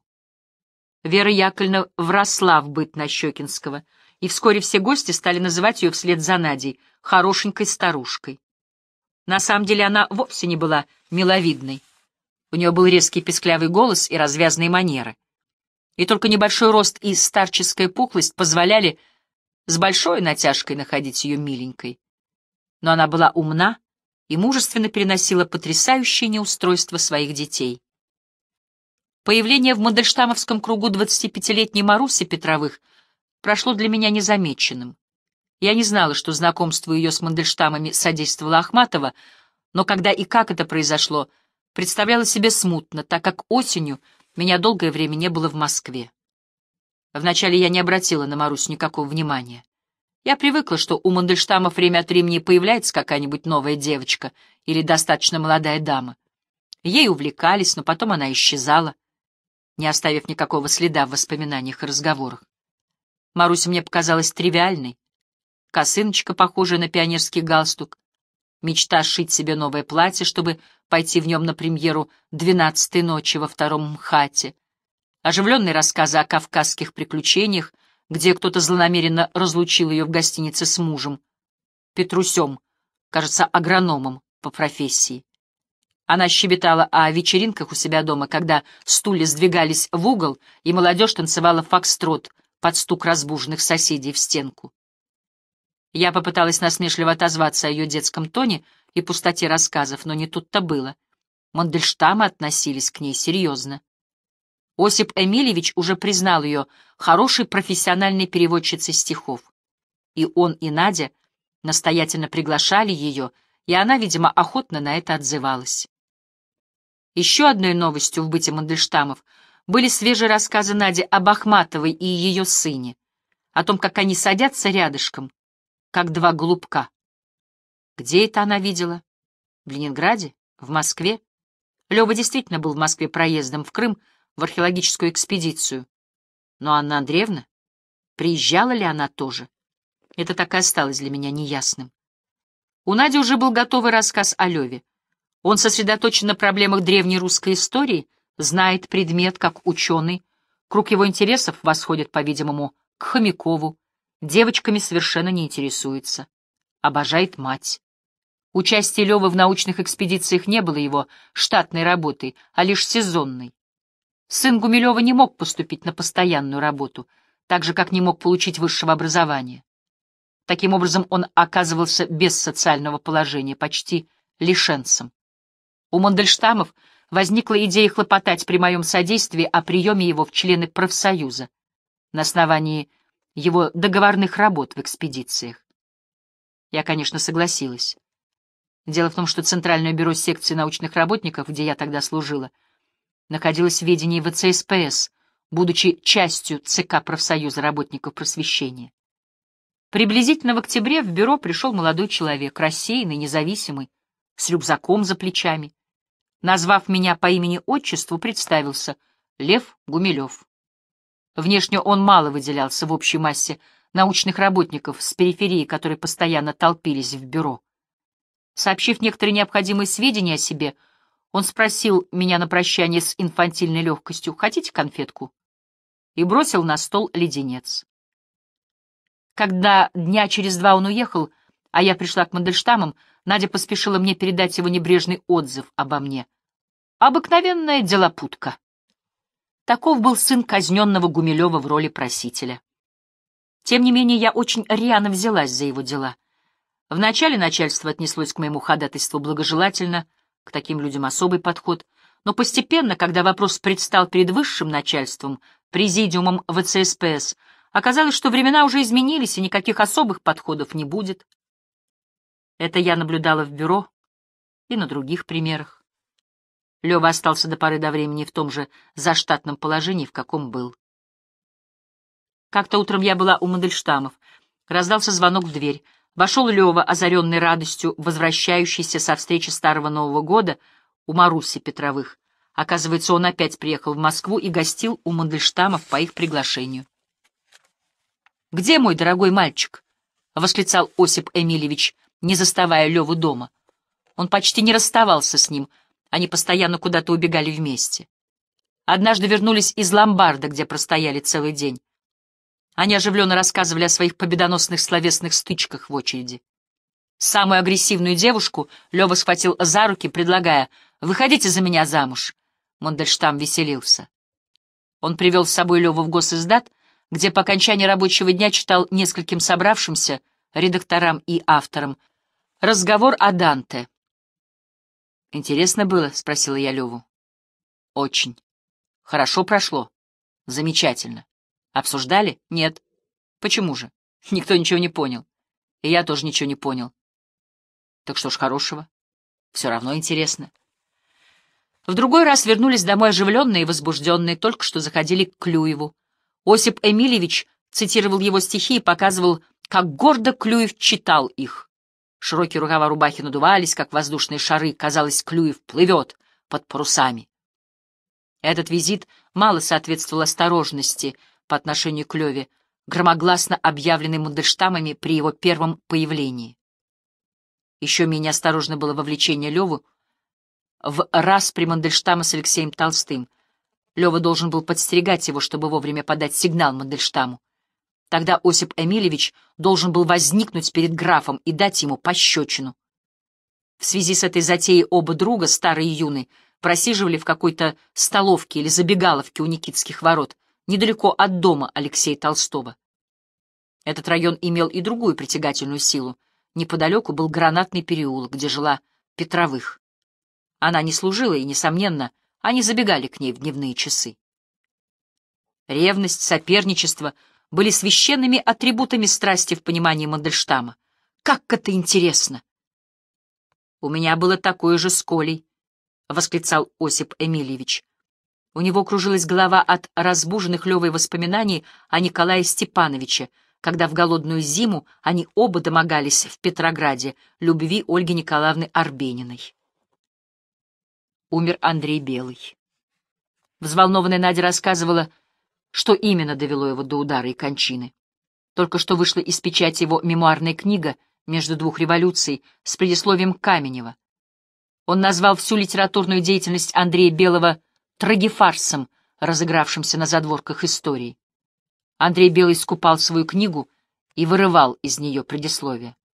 Он ходил по книжным магазинам до тех пор, пока его не настиг инсульт, отчего он и умер.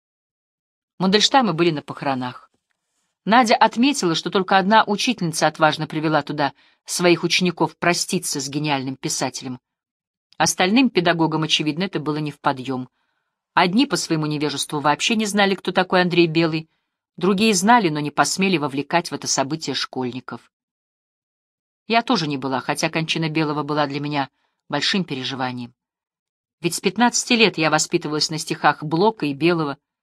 Его симфонии были для меня откровением, а «Серебряный голубь» я любила даже больше, чем Петербург. Но все это было так давно. Жизнь так резко изменилась с тех пор. И я была так задавлена своими службами, что не могла отпроситься с работы для неофициальной церемонии. Да и вообще мне всегда были тяжелые внешние проявления чувств, и я избегала всяческих демонстраций. Но стихи Мандельштама на смерть Андрея Белого я приняла в самое сердце. Осип Эмильевич послал эти стихи вдове Андрея Белого. Они ей не понравились. Как это могло случиться? Разве она читала что-нибудь лучшее в те траурные дни? Я не заметил никаких признаков обиды или раздражения по этому поводу у Мандельштама, но мне было видно, что он искренне и глубоко огорчен. Никогда не ожидая от меня критики своих стихов, на этот раз он хотел знать, чем конкретно мне так нравится его оба стихотворения на смерть Андрея Белого. В общих чертах я постаралась определить свое отношение к ним.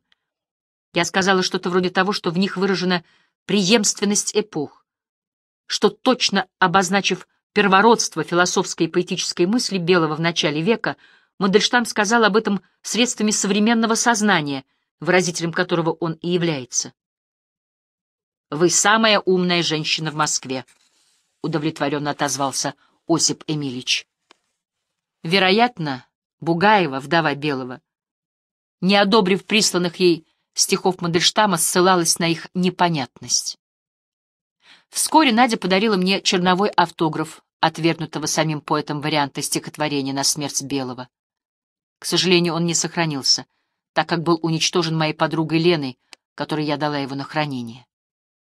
Черновик представлял собой клочок бумаги приблизительно в одну шестнадцатую листа, на котором рукой Мандельштама мелко-мелко были записаны, несколько раз поправлены, затем вынесены два стиха.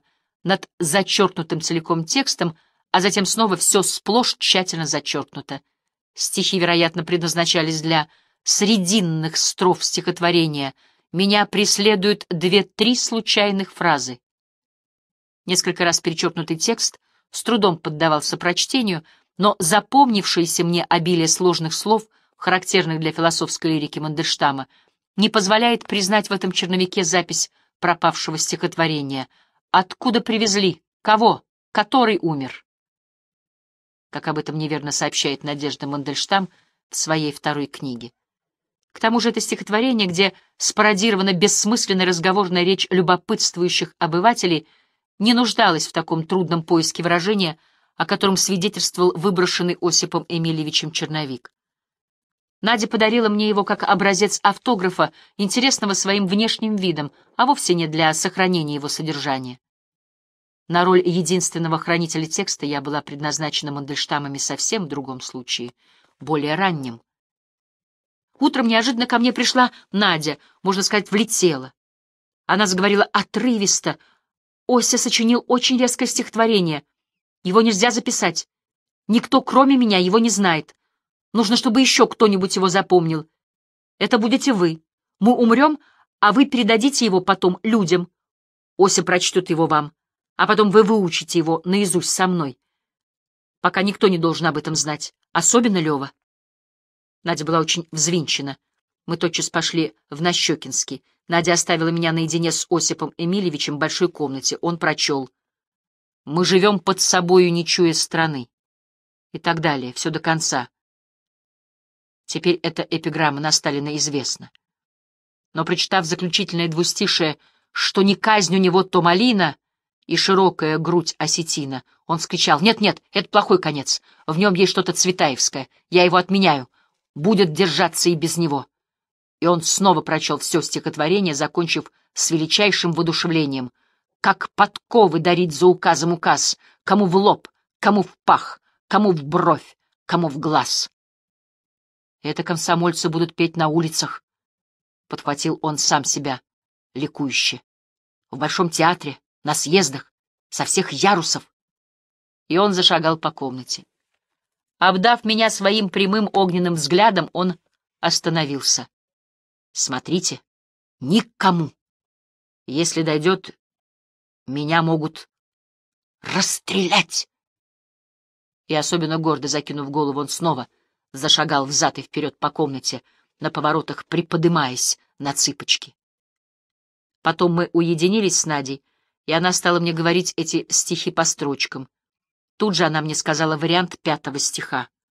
«У него на дворе и собаки жирны». Мне казалось, что все это глубоко погребено. До осуждения Мандельштама я ни одному человеку об этом стихотворении не говорила и уж, разумеется, не читала. Но как-то при мне зашел о нем разговор между Мандельштамами, и Надя безмятежно заявляет, что Нине Николаевне Грин больше нравится другой вариант. Вот тебе и раз. Оказывается, я не одна посвящена в тайну и я не знала, что существует совсем иная редакция. Ахматова. Его душили собственные ненапечатанные стихи. Так протекало предгрозовое время последнего года московской жизни Мандельштама. В эту взрывчатую атмосферу влилась новая струя. Приехала Ахматова. К приезду Анны Андреевны Осип Эмильевич заготовил шуточное длинное послание, в котором были такие фразы. «Если у вас закружится голова, обопритесь о господствующий класс. Вы будете говорить, а мы будем слушать, слушать и понимать, слушать и понимать». Анне Андреевне отвели кухоньку, без плиты, и эта маленькая келья прозвана была «капище», Следующие комнаты тоже получили соответствующие названия, но я их не помню. С Осипом Эмильевичем у Анны Андреевны были свои отдельные разговоры. Я при них не присутствовала. Только однажды, заглянув по какой-то надобности в капище, я застала их вдвоем. С детским увлечением они читали вслух по-итальянски божественную комедию. Вернее, не читали, а как бы разыгрывали в лицах, и Анна Андреевна стеснялась невольно вырывавшегося у нее восторга. Странно было видеть ее в очках. Она стояла с книгой в руках перед сидящим Осипом. «Ну, теперь вы, а теперь вы», — подсказывали они друг другу. Как-то веселые оживленные вернулись они вдвоем из гостей. Осип Эмильевич сделал за один вечер несколько граффов.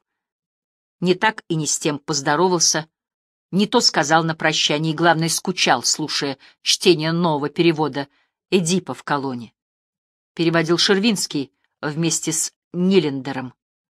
Кажется, именно Нилендер и читал в этот вечер. Домашние смешки и словечки вылились в шуточное стихотворение Мандельштама «Знакомство нашего на склоне, Шервинский нас к себе зазвал послушать, как Эдип в колонне с Нилендером маршировал. Ахматова дружила с Шервинским. Но для Мандельштама, поэта и деятеля искусств, подобного склада, были противопоказаны. Так как я слышала много восторженных отзывов о Шервинском от его учеников, в частности, от моей подруги Лены, от артистов-чтецов, студентов ГИТИСа, от переводчиков, я спросила Осипа Эмильевича, как он относится к нему. «Молодой человек с Причистенки», равнодушно ответил Мандельштам, имея в виду поколение, вышедшее из семейств московской высшей академической среды. Он таким и остался. Анна Андреевна стала собираться домой в Ленинград приблизительно в конце февраля. Провожать ее поехал на вокзал Лева. Как только за ними закрылась входная дверь, Осип Эмильевич бросился на тахту и скричал, «Наденька, как хорошо, что она уехала! Слишком много электричества в одном доме!» После отъезда Анны Андреевны в доме Мандельштамов наступила какая-то пасмурность. У них появилась тень раздражения против нее. Надя с оттенком недоброжелательности указывала, что Ахматовой легко сохранять величественную индифферентность, так как она живет за спиной Пунина. Как бы ни было запутано ее семейное положение, но жизнь в этом доме хоть немного, но обеспечивала ее. А Мандельштаму приходится вести ежедневную борьбу за существование — Осип Эмильевич утверждал, что Ахматова неофициально уже признана классиком. Зашел у меня разговор с ним о ее поэзии, и среди его одобрительных слов мелькает все-таки замечание о манерности ее ранних стихов. Впрочем, добавляет он, тогда все так писали. После обычных бормотаний Мандельштам проговаривает с осуждением аутоэротизм. В другой раз Надя резко критикует безвкусные завершения в некоторых стихотворениях из «Щеток» и «Белой стаи». Как можно писать «даже тот, кто ласкал и забыл» или «улыбнулся спокойно и жутко». Лева подарил мне свою фотографию, сделанную для удостоверения. На обороте стал писать акростих. Эмаль, алмазы позолота могли б украсить египтян моей же девы стройный стан. Дальше он не мог придумать. Ходил по комнате и повторял эти строки певучи и выспренне. Осип Эмильевич выхватил у него перо, быстро переделал стройный на красит и стремительно приписал «Аршин трико иль шевиота».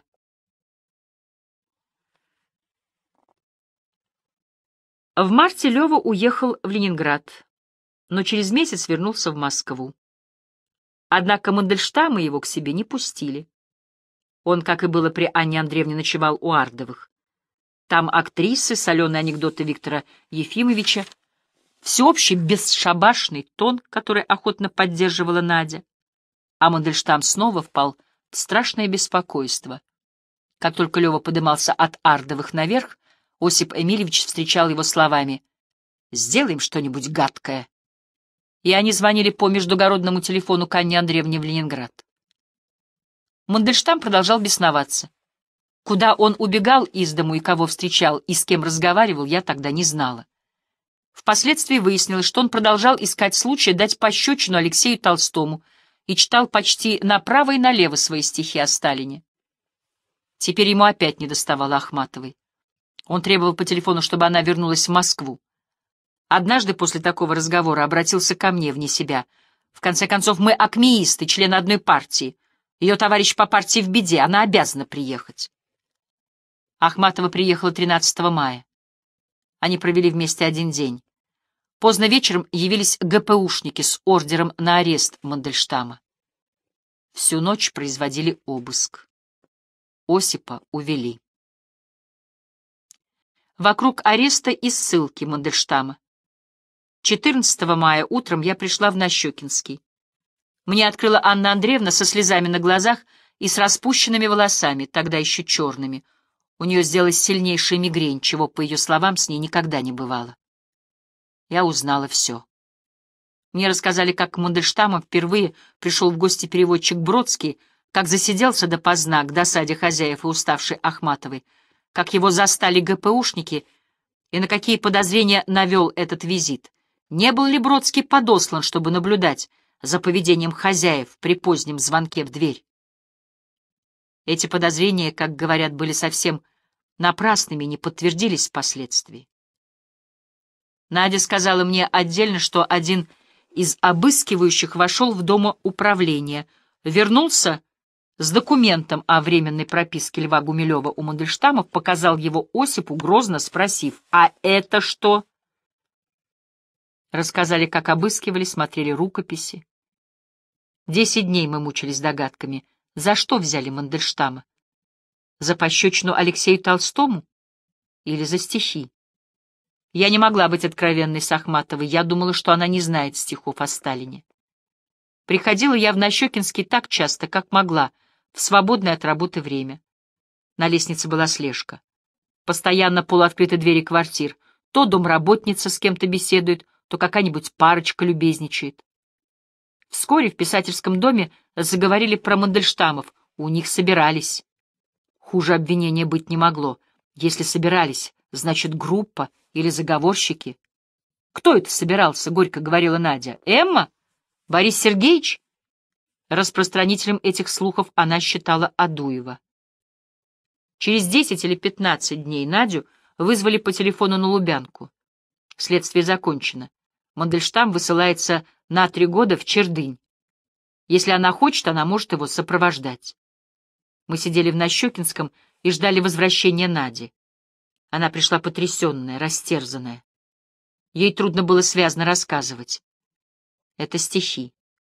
О Сталине, квартира и крымская холодная весна. Мандельштам, честно, ничего не скрывая, прочел все три. Потом он их записал. Как? С последними двумя строками? Ведь он их отменил, это я вскричала. Прочел и записал все целиком. Запись стихов о Сталине уже лежала у них на столе. Это она узнала от самого Осипа. Она видела его, рассказывала с душераздирающей нежностью, как он кинулся ко мне. «Наденька, что со мной делали?»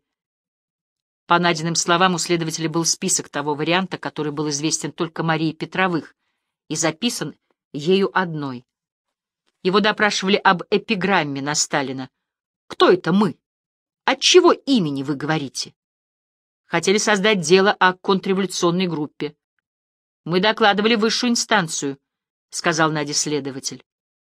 Имени Сталина он не называл, но было ясно, что он цитирует его. «Изолировать, но сохранить». Такова была директива. Это избавило всех нас от привлечения к делу. Первыми словами Нади, обращенными ко мне в отчаянии, были «Эмма, Ося вас назвал». Она смотрела на меня выжидательно и со страхом. Мандельштам сказал так. Стихов о Сталине он никогда не записывал и не распространял. Это стихотворение знали только члены его семьи, жена, брат Александр, брат жены и Эмма Герштейн. Надя рассказывала сбивчиво. Ему устраивали инсценировки, будто бы за стеной расстреливают соучастников. По словам Нади, Осип кричал, «Как вы смеете расстреливать Эмму Герштейн? Она совершенно советский человек». Сам он уже в 1936 году в Воронеже рассказывал мне об этом иначе будто бы это следователь кричал на него, как вы смеете клеветать на Эмму Герштейн, вполне советского человека. Что было на самом деле на допросах, я, конечно, не знаю. Но переданная Надей версия была полностью принята мною на веру. «Поздравляю. Теперь на вас заведено досье», — сказала мне Анна Андреевна, когда мы оказались с ней вдвоем в маленькой комнате. Тогда я была шокирована этими разумными словами Ахматовой. Если бы я могла в ту минуту охватить взглядом последующие двадцать лет, когда во всех инстанциях, отделах кадров, редакциях, квалификационных комиссиях и в Союзе писателей я слышала только одну фразу «Вам отказано». Может быть, я бы и призадумалась, но в тот день мне было не до того. Надя продолжала — Мандельштам не мог долго отпираться и называл уже не членов семьи, а всех, кому читал свое стихотворение, в том числе и Марусю Петровых. «А, театралочка», — отозвался следователь, и это казалось Наде подозрительным. Она обвиняла Марусю в том, что еще до ареста Мандельштама она забыла на подоконнике машинописный список его новых стихов, подаренный ей Надей. «И зачем она тут ходит и ломает руки?» — раздражалась Надя. Свои опасения она высказывала как бы от имени Осипа Эмильевича, но после того, как Анна Андреевна повидалась с ним в Воронеже и выслушала от него самого историю следствия, подозрения относительно Маруси Петровых были разом сняты. До самой своей смерти Анна Андреевна встречалась с нею, и дружба их все последующие 30 лет осталась неомраченной. Мы сидели рядом с Надей на тахте в большой комнате. В доме суетились друзья, входили и выходили, собирали деньги и все необходимое для отъезда. Приоткрыла дверь Сима Нарбут. Но только она шагнула в комнату, Надя вскричала, «Сима, прости, я сейчас никого не могу видеть, кроме своих». А тут сидела я. Надя была в полубреду. Она произносила имена Шенгели и Нарбута с какими-то подозрениями. Оказывается, и им Осип читал свое стихотворение.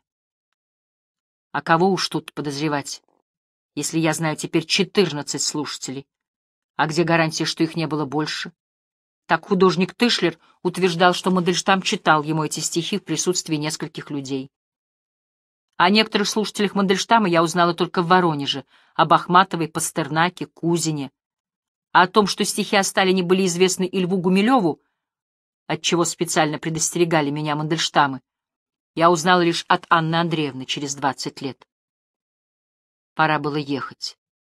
Надя засунула в старую потрепанную сумку врученные ей собранные деньги, побросала в корзинку какие-то вещи и поехала.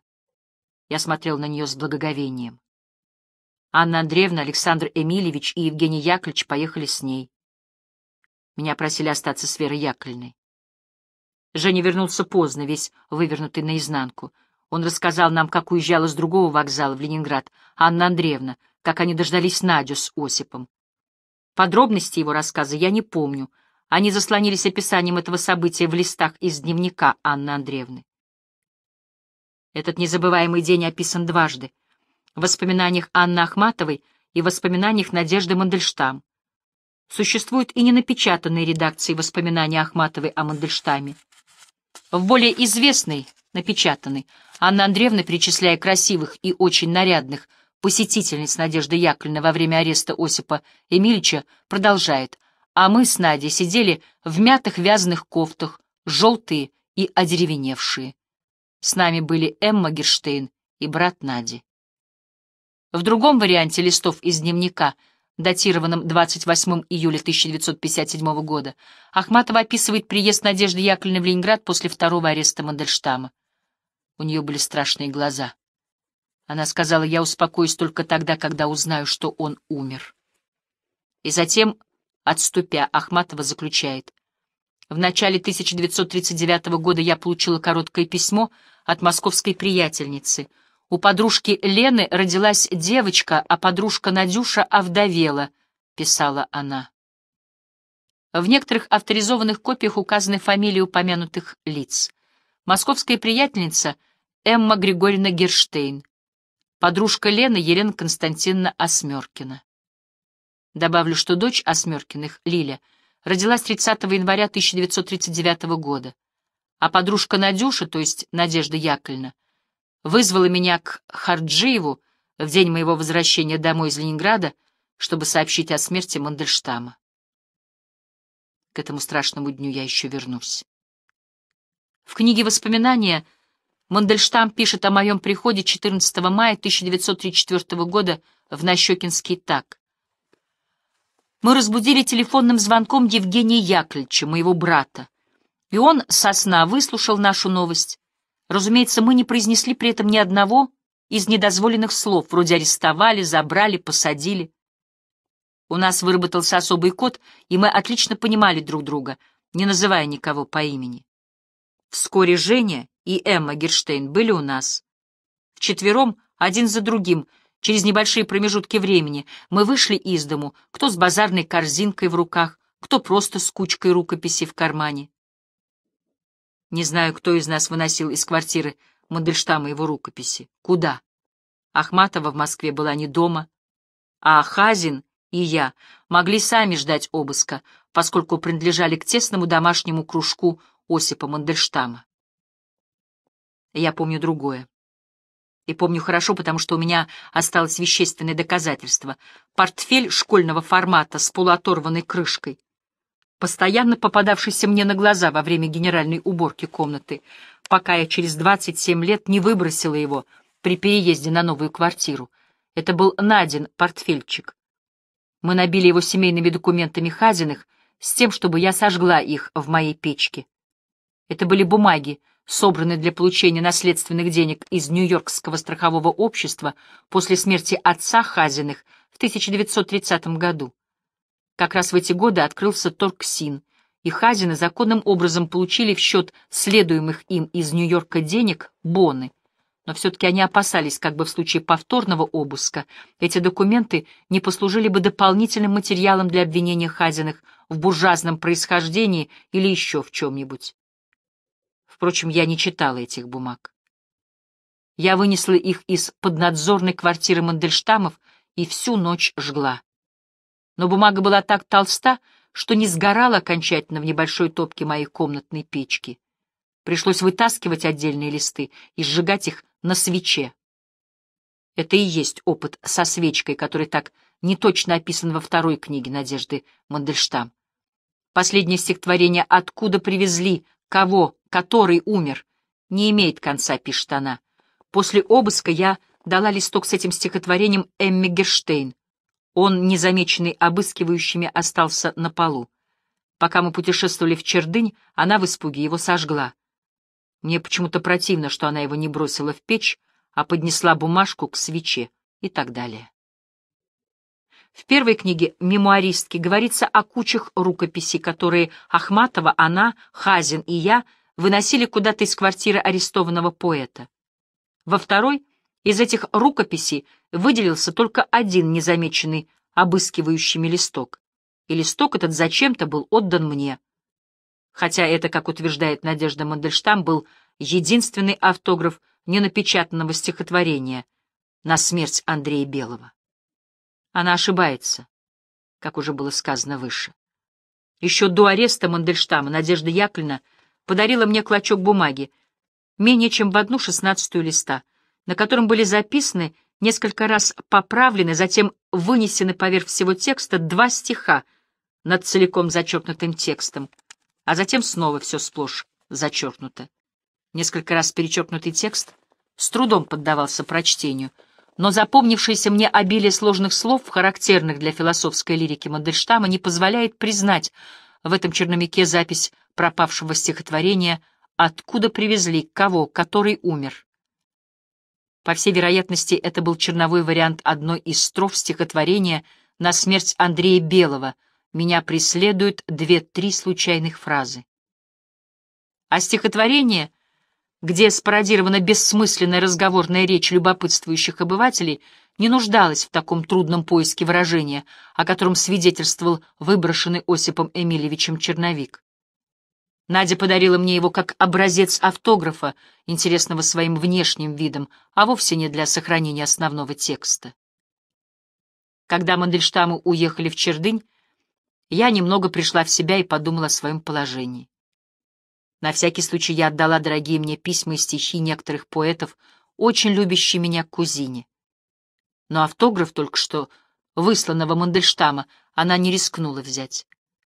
А я не имела права ей его навязывать, так как она никакого отношения к этой стороне моей жизни не имела. Моя неизменная подруга Елена предложила мне отдать его ее матери — мы всегда относим к ней все, что хотим уберечь от любопытных глаз, — сказала она. Шура, ее муж-художник, хранит там даже порнографию, то есть то, что называли порнографией наши ретивые критики. Однако через несколько дней Елена пришла ко мне с сообщением, что мать вернула ей автограф Мандельштама. У нее и так хранились бумаги сына ее подруги, юноши, высланного за принадлежность то ли к сионистам, то ли к меньшевикам, не помню. Ну хорошо, давай его мне. Придумай что-нибудь, — говорю я. — А я его спустила в уборную, — ответила Лена. Я была убита. Там ничего нельзя было разобрать, — оправдывалась Лена. В эти же дни неожиданно вернулись из Чердыни Мандельштамы. Я с сокрушением успела рассказать Наде об этом печальном эпизоде и о реплике Лены. Надя грустно ответила. Вот такие черновики разбирают текстологи. Итак, Мандельштамы приехали из Чердыни. В Москве они должны были получить новое направление в ссылку. Кажется, им был предложен некоторый выбор. Воронеж был предпочтен другим разрешенным городам. В рассказах Нади о поездке в Чердынь фигурировал грузовик, которого испугался Осип Эмильевич. Шофер был человек с лицом палача, воображаю, козырек на глаза, жесткая складка рта или сладкая улыбка и рыжая борода. Я видела и таких, и таких. Мандельштам решил, что его везут расстреливать. Он не хотел садиться в машину. Не могли подобрать шофера с более человеческим лицом, возмущалась Надя. Она смело отправляла телеграммы в Москву, в ЦК, в ГПУ, Сталину. Поэта довели до сумасшествия. Это государственное преступление.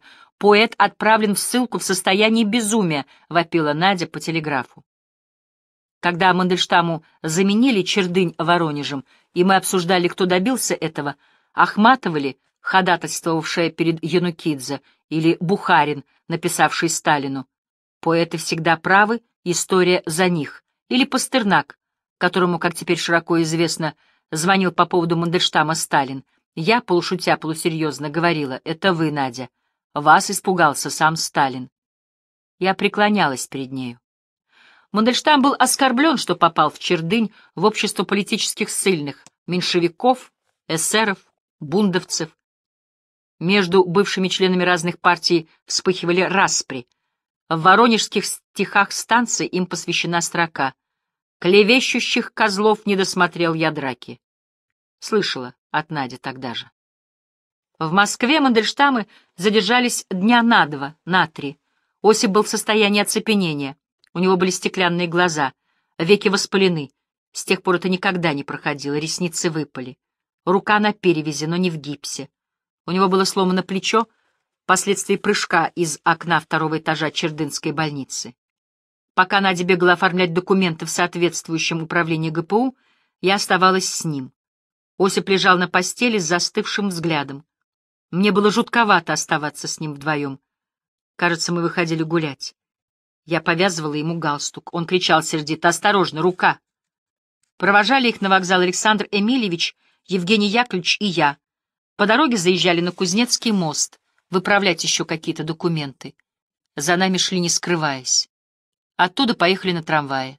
Надя с братом сели с вещами на переднюю площадку второго вагона, а Осип Эмильевич, его брат и я стояли на задней площадке того же вагона.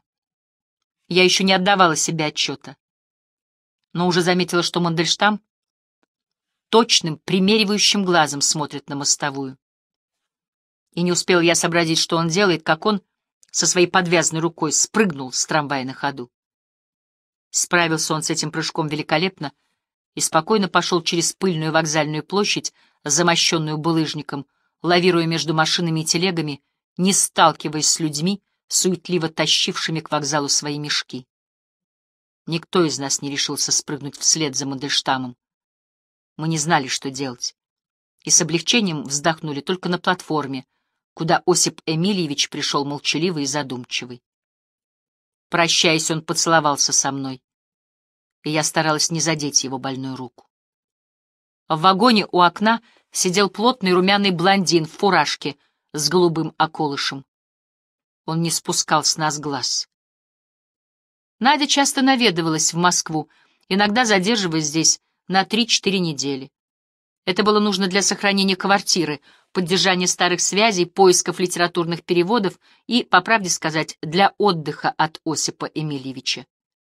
Первое время с ним было особенно трудно, когда он еще не отошел от лубянского и чердынского шока.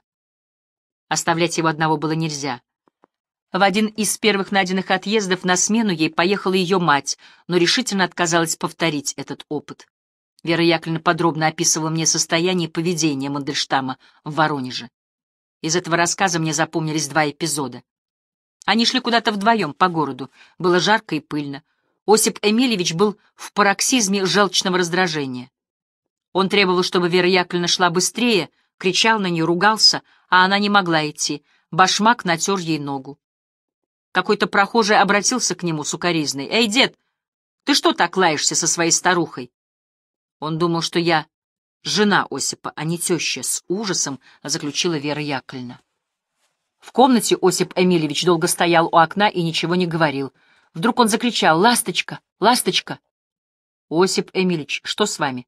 А вы разве не видите? Вот ласточка летит». Я посмотрела в окно, — продолжала Вера Яковлевна. «Никакой ласточки нет. Вообще не пролетело ни одной птицы. Он сумасшедший, я вам говорю. Это галлюцинации». Бедная Вера Яковлевна.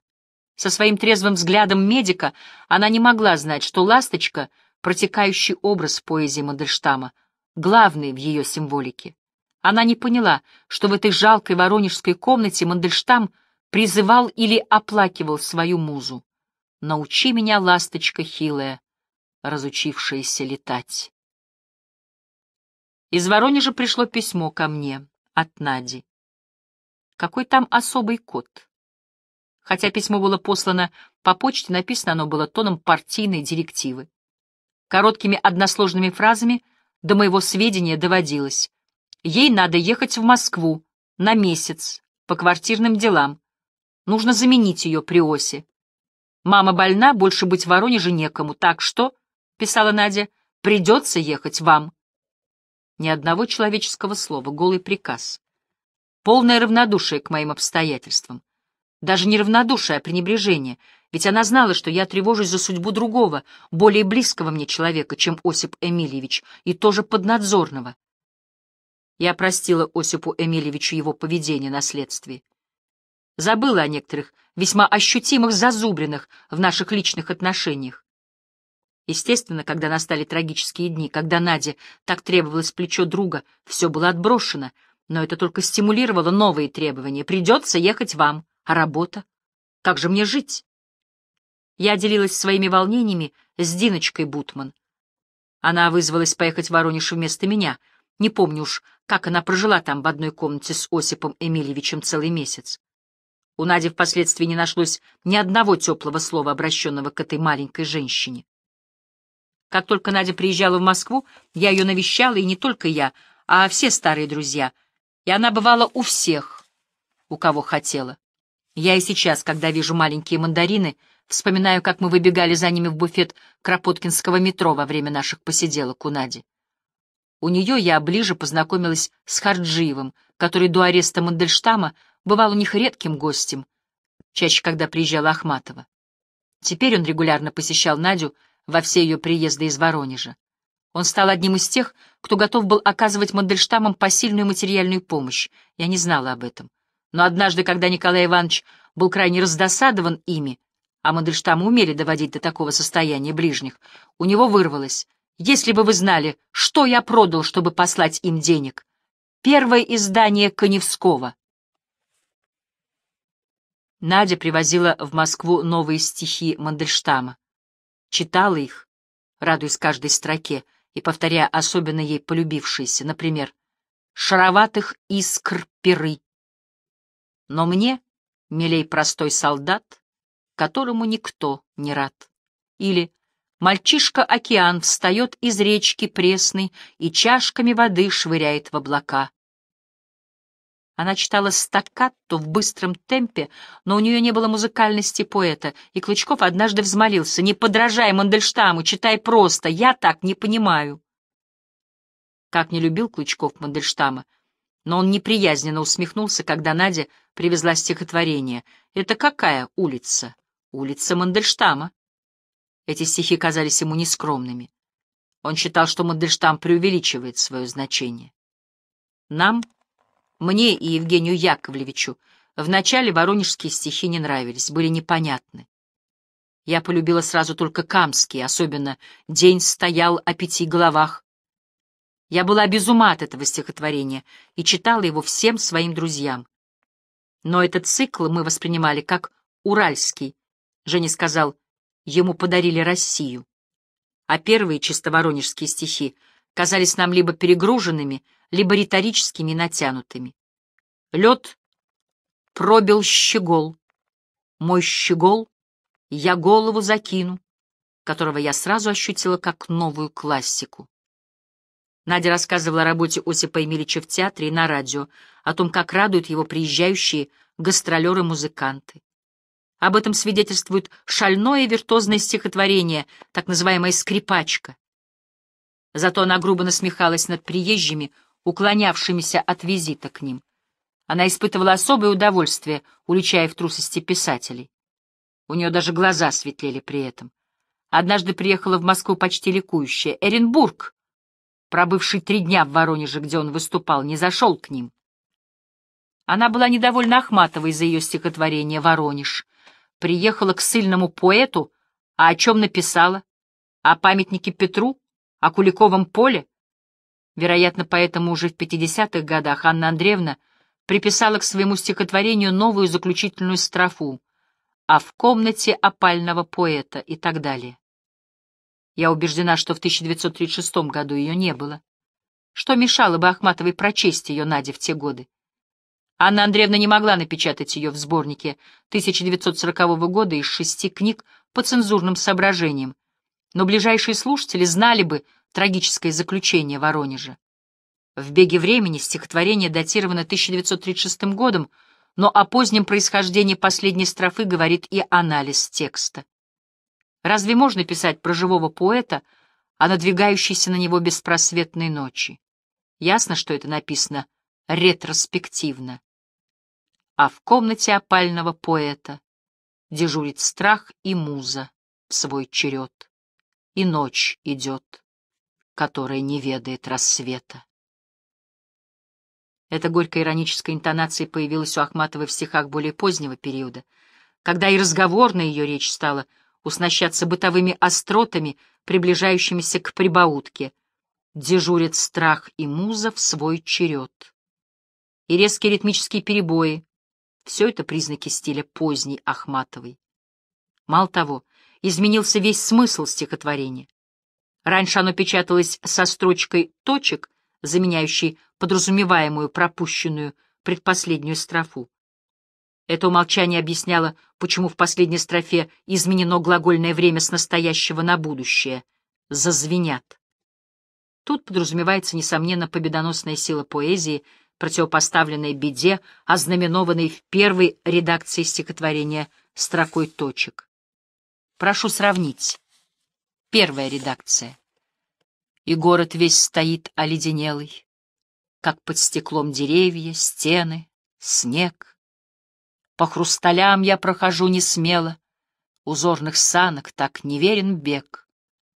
А над Петром Воронежским вороны, до тополя и свод светло-зеленый, размытый, мутный, в солнечной пыли, и Куликовской битвой веют склоны могучей победительной земли. Отточие. И тополя, как сдвинутые чаши, над нами зазвенят сильней, как будто пьют за ликование наше на брачном пире тысячи гостей. Вторая редакция и город весь стоит оледенелый, как под стеклом деревья, стены, снег. По хрусталям я прохожу не смело, узорных санок так неверен бег.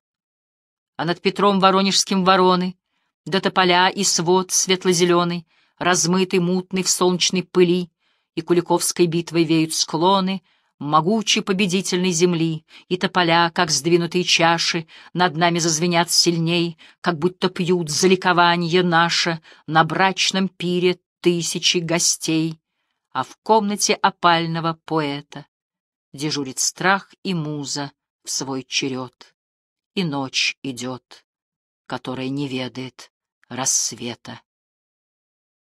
Получается другое противопоставление. Выходит, что в стихотворении описана прогулка по Воронежу с каким-то другим лицом, с которым пережито ликование природы, ощущение истории родной земли, а в комнату опального поэта гуляющие только зашли, чтобы убедиться, что на него надвигается беспросветная ночь. По-моему, стихотворение испорчено. Желание сказать в лоб о судьбе Мандельштама привело не к прояснению текста, а к его двусмысленности. Рукописи стихотворения Ахматовой, в частности, Воронеже, я не видела, поэтому все сказанное здесь остается только догадкой. Вскоре после описанных событий лета 1934 года меня сняли с работы в 24 часа, и выдали отвратительную характеристику. Я мыкалась до 1936 года, когда устроилась в литературном музее, но не на штатную, а на сдельную договорную работу. Как только я получила первые деньги, я поехала в Воронеж. Поездка была тяжелая, дорога длилась чуть ли не 36 часов, а может быть и более. Я вспоминала недавнюю поездку Анны Андреевны к Мандельштамам. Провожали ее из Москвы Евгений Яковлевич и я. Он не догадался сразу при входе в вагон заказать у проводницы постель. Когда я спохватилась, ни белья, ни матрацев уже не осталось. Я с огорчением сказала об этом Анне Андреевне, прямо сидевшей на жесткой скамейке. Она ответила по-королевски небрежно, все равно. На вокзале меня встретила Надя. Дома Осип Эмильевич спросил тотчас. «Надолго ли?» «Да», — ответила я радостно, — «на все майские праздники. На три дня могли не приезжать». Пауза. «Я думал, вы пробудете месяц, но недели три. Но я ведь на работе, Осип Эмильевич. Вы не в штате». Они жили тогда в неплохой комнате, недавно снятой в одном из лучших домов Воронежа, построенном для инженерно-технических работников. Это был новый кирпичный дом, трехэтажный. Квартира с удобствами, но ванна была покрыта простыней, жильцам не разрешалось в ней мыться. Вторым жильцом был молодой человек. Главным его занятием была игра на бильярде. Его прозвали «артист». Мандельштамы подозревали, что он приставлен к ним для слежки, а я так тщательно скрывала в Москве, что еду в Воронеж. На второй день праздников он вернулся домой вдрызг пьяный. Надя с ним возилась. В конце концов уложила на кровать, сняв с него башмаки. В ней есть что-то от бабы, а не от дамы, — одобрительно заметил как-то Николай Иванович Харджиев, говоря о Наде. Улицы города были запружены гуляющими. Среди них не было ни одного интеллигентного лица. На второй день Осип Эмильевич почувствовал себя плохо.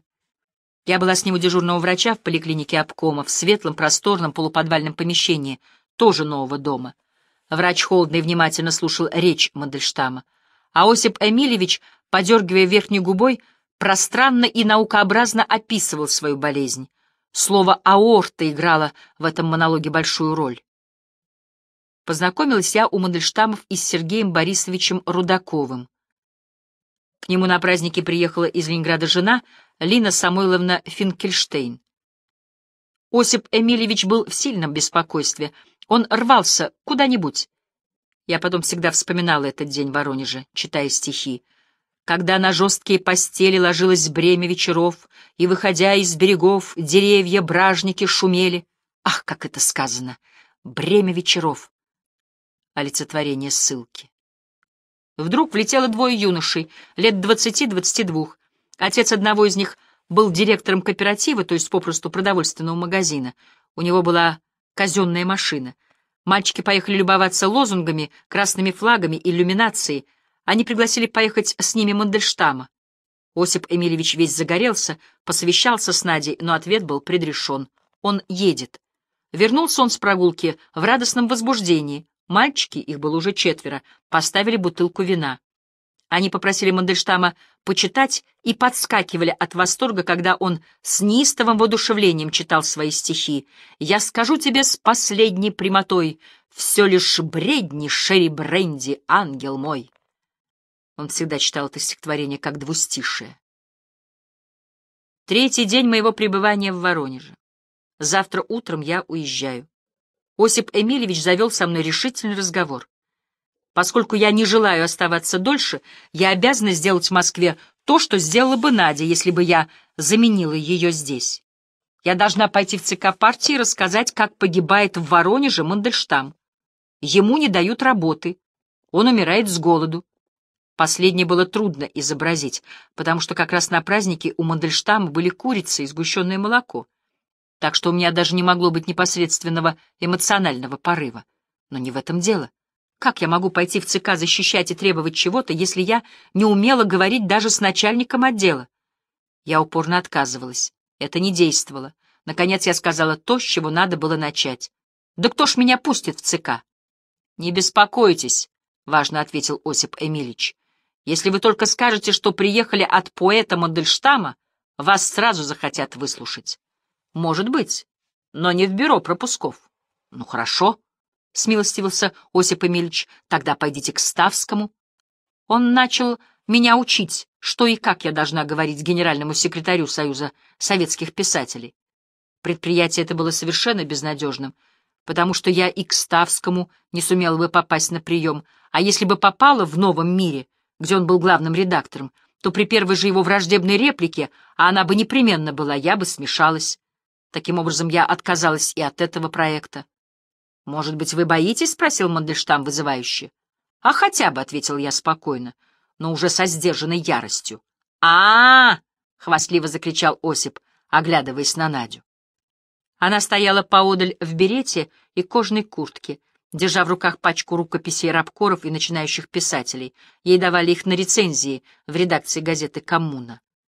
Надя напряженно прислушивалась к нашему разговору. А, хвастливо закричал Осип, посматривая на Надю. «Мемуары будете писать после моей смерти? А о живом поэте не думаете?» Я физически почувствовал, как бледнею от бешенства. Мемуары я пишу сейчас, через сорок лет, но тогда я об этом и не помышляла, потому что с Мандельштамами меня связывала душевная близость, а не историко-литературный интерес. По мере того, как кровь отливала от моего лица, в глазах Осипа отражалось что-то вроде испуга. «Наденька, оставь», — сказал он, — «я знаю Эмми на лицо. Теперь она непреклонна». Надя с силой швырнула от себя пачку рукописей, они разлетелись веером по полу. «Это государственное преступление держать тебя здесь!» — закричала она. «Я не могу заниматься этой ерундой!» Она потрясала поднятыми вверх руками. Куртка ее распахнулась. «Наденька, перестань!» — властно сказал Осип. «Мне надо поговорить с Эммой». Мы остались вдвоем. Как обычно, после вспышки Мандельштам стал спокойным и ласковым. Он подсел ко мне. «Я к вам неравнодушен. Наш разговор тембрирует. Все это означало, что Надя рвется в Москву. Ее надо сменять. А с кем попало, он никак не может оставаться. Ему нужен человек близкий. Рудаков все-таки мужчина. Это не то. Да и отношения в этот период между ними были несколько натянутыми. О политической стороне дела, о моем положении он и думать не хотел. Тогда я, наконец, заговорила о его поведении на следствии, чего я себе не позволила ни разу при встречах с Надей в Москве.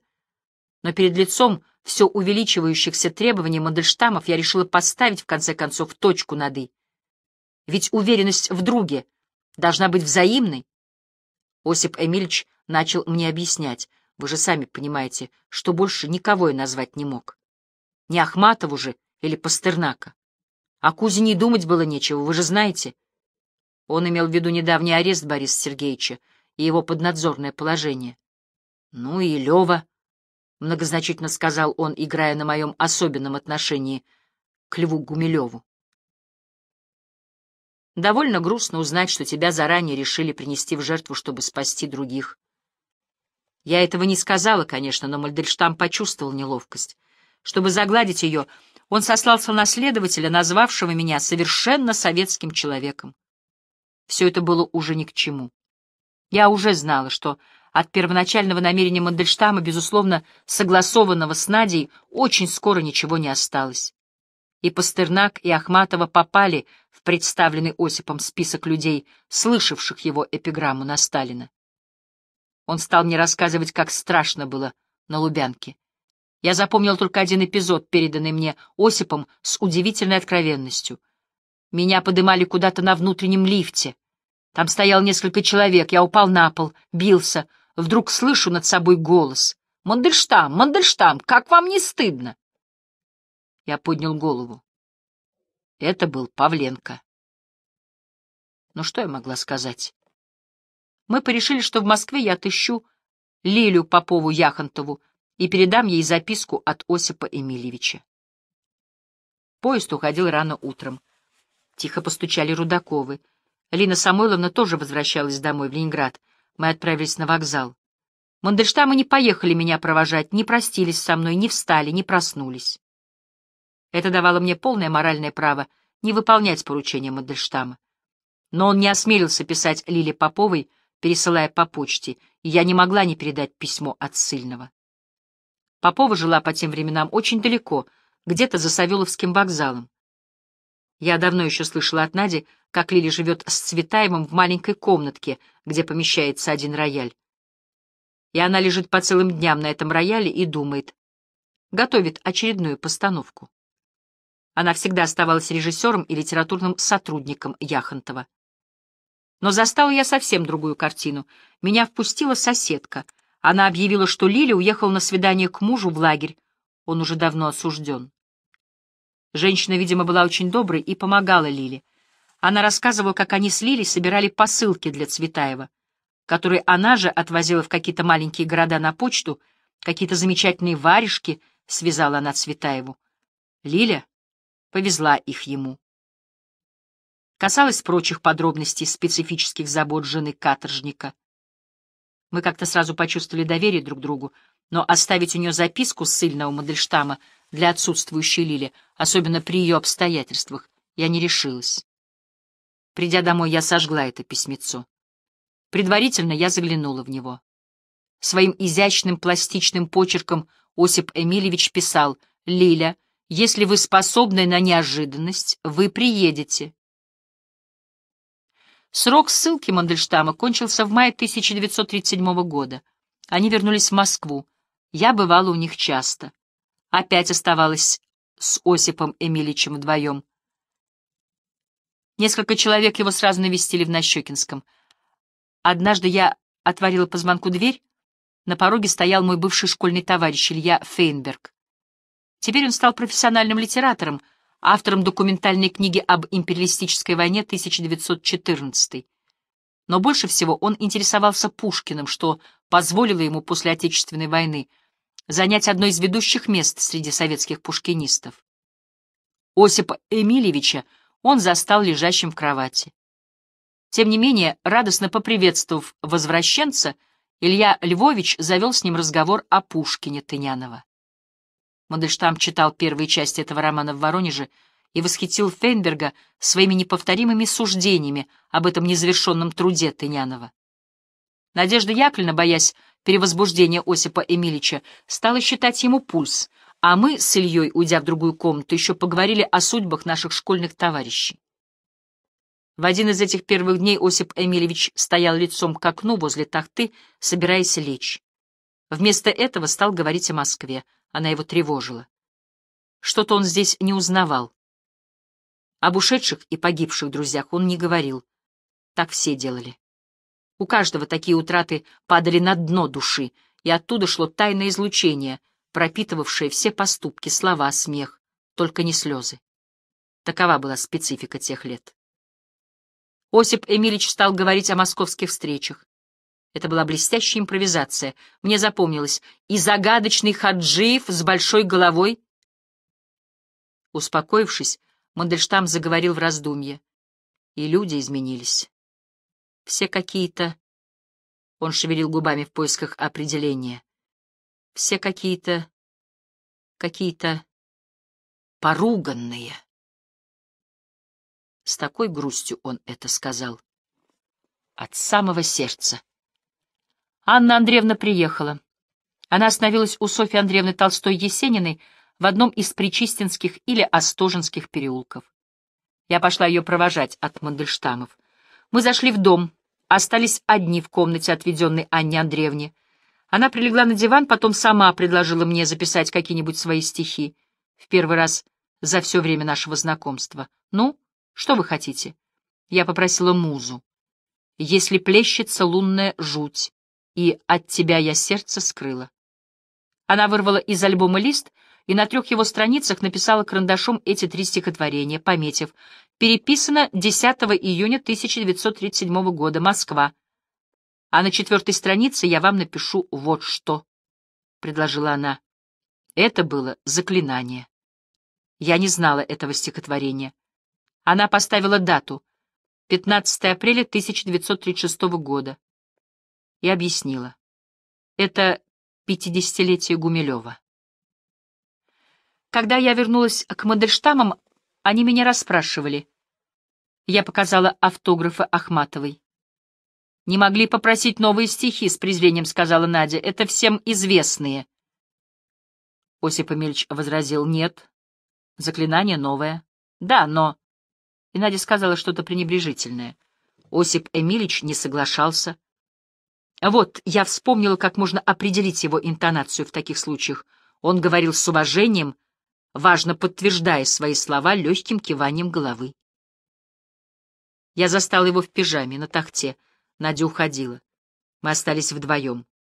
Он весь светился и прочел целиком стихи о неизвестном солдате. Потом попросил меня записывать под его диктовку.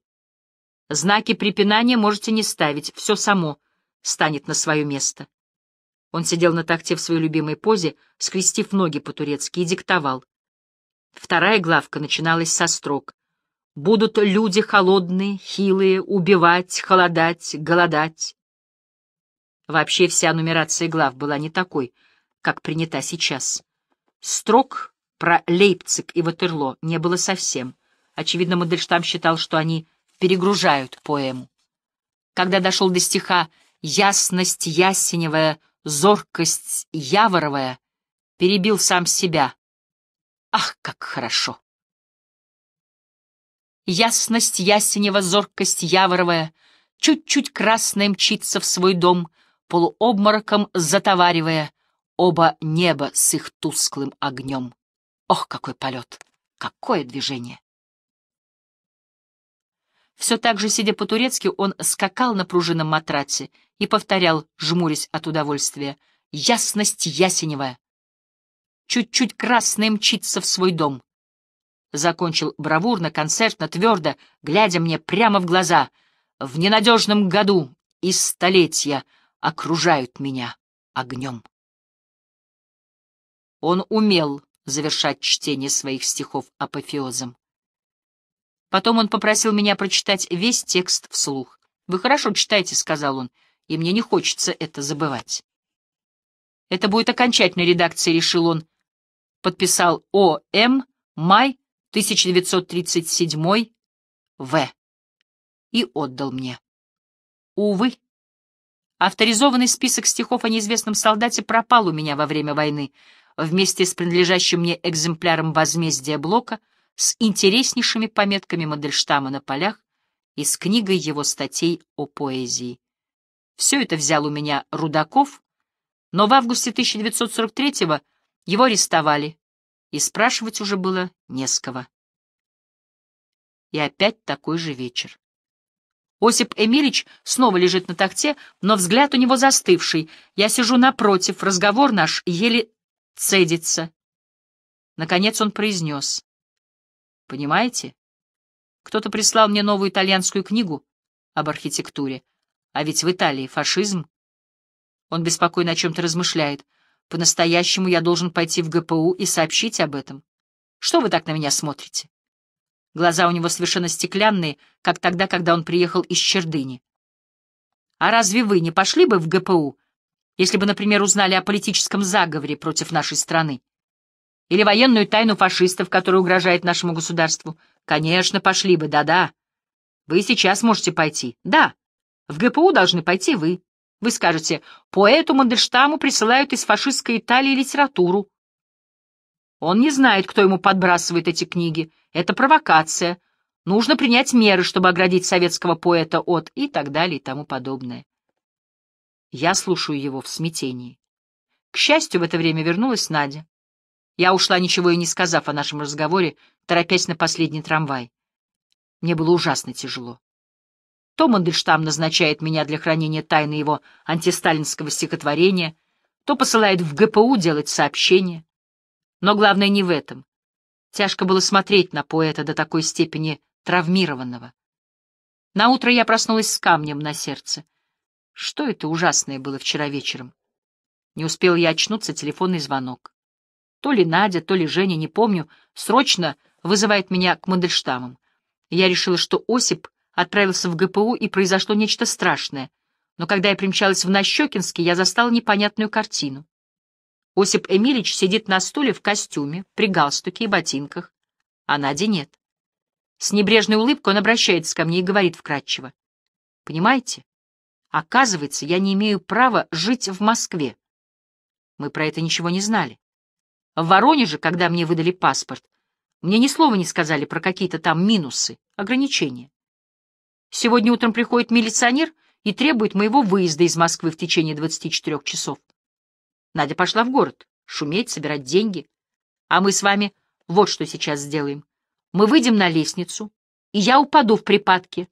Вы поднимете крик, выбежите на улицу, будете стоять перед нашим подъездом и сзывать народ. Безобразие! Поэта выкидывают из квартиры, больного поэта высылают из Москвы. Я буду биться тут же в подъезде. В это время появится уже Надя. Ну, идем. Я оторопела. Нет, я не могу, бормотала я. Он меня настойчиво уговаривал. Но почему же? Осип начинал сердиться. Симуляция — самый испытанный метод политической борьбы. Ну, идемте же. Нет, вы дура! — закричал Осип и стал тащить меня за руку. Идем! Я покажу, что значит настоящая политическая симуляция. Я покажу! В это время влетела Надя. Весь ее вид выражал один грозный вопрос. «Наденька, она не идет!» Надя бросила на меня негодующий взгляд. Последующий разговор был быстрым, резким, непередаваемым, сразу забытым. Я ушла. Что было дальше в этот день, я не знаю. После того, как на протяжении суток Мандельштам требовал от меня и похода в ГПУ с донесением, и участия в его политической борьбе с тем же ГПУ, я больше в этой игре не участвовала. Стало слишком очевидным, что Мандельштамы хотят иметь во мне не друга, не соратника, не почитателя поэта, а раба, полностью отрекшегося от своей личности, от своей жизни. Вскоре я узнала, что они приняли решение, на которое мало кто отваживался в то страшное время. Оно было основано на глубокой вере Мандельштама в могущество своего таланта, на своеволии его жены и на страстном желании обоих остаться в Москве. Вероятно, разумнее было бы увезти Мандельштама куда-нибудь за стоверстную зону или в Старый Крым, где продолжала жить вдова Грина. А там уж настигла бы его судьба или миновала, неизвестно. Но в 1937 году болтаться по Москве и Ленинграду, не имея права жительства в этих двух городах, упрямо мелькать перед глазами насмерть перепуганных литературных деятелей или распалившихся от крови администраторов, было безумием для каждого, а для больного Мандельштама трижды безумием. Но Надя не могла противостоять стихийной тяге Мандельштама к легализации. А Осип был беспрерывно подстегиваем Надей в ее азарте авантюристки. Осип с пафосом читал повсюду свою оду Сталину, надеясь на ее успех у вышестоящих. Но, кажется, эти стихи производили благоприятное впечатление только на Лилю Яхонтову. Она уговаривала Осипа Емельевича обратиться к Сталину с покаянным письмом и грозилась сама послать такое письмо вождю, если Мандельштам этого не сделает. И вы знаете, она может, она такая. С ужасной тревогой говорил мне Евгений Яковлевич. Он справедливо опасался, что в угаре арестов и казней напоминание об авторе страшной эпиграммы приведет к катастрофе. Осип Эмильевич не понимал, что его торжественные большевистские стихи совсем не во вкусе тогдашних законодателей литературы. И куда он лезет? Он им совсем не нужен, сокрушался мой друг, да и фамилия его им не импонирует. Под величайшим секретом он меня посвятил в тайну одного известного советского писателя, которому предложили в новом мире переменить свою еврейскую фамилию на русский псевдоним. Тем не менее, устоять перед натиском одержимости Мандельштама было очень трудно. Это сказывалось и на случайных бытовых эпизодах. Евгений Яковлевич мне рассказывал, что Мандельштам заставил его тещу прервать свои занятия с певцами.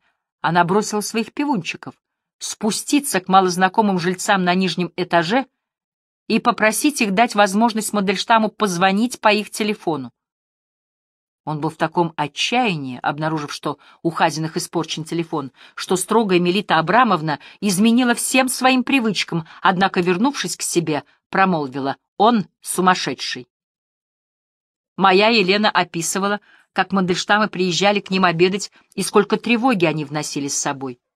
Но хозяева быстро вовлекались в их ритм. Осип Эмильевич вел интересные застольные беседы о литературе, а Осмеркин гордился тем, что поддерживает гонимого поэта. Он сделал несколько его портретных зарисовок карандашом.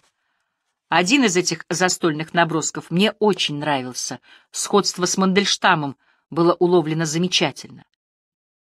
Иногда Мандельштамы как будто забывали о своих бедах и в противовес им пытались веселиться.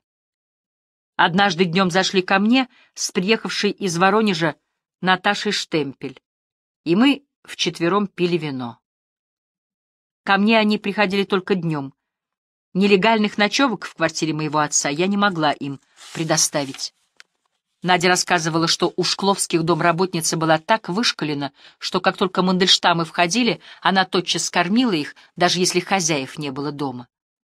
Вначале они и ночевали там нередко, но Василиса Георгиевна подсмотрела через занавеску, что на улице был установлен надзор за ними.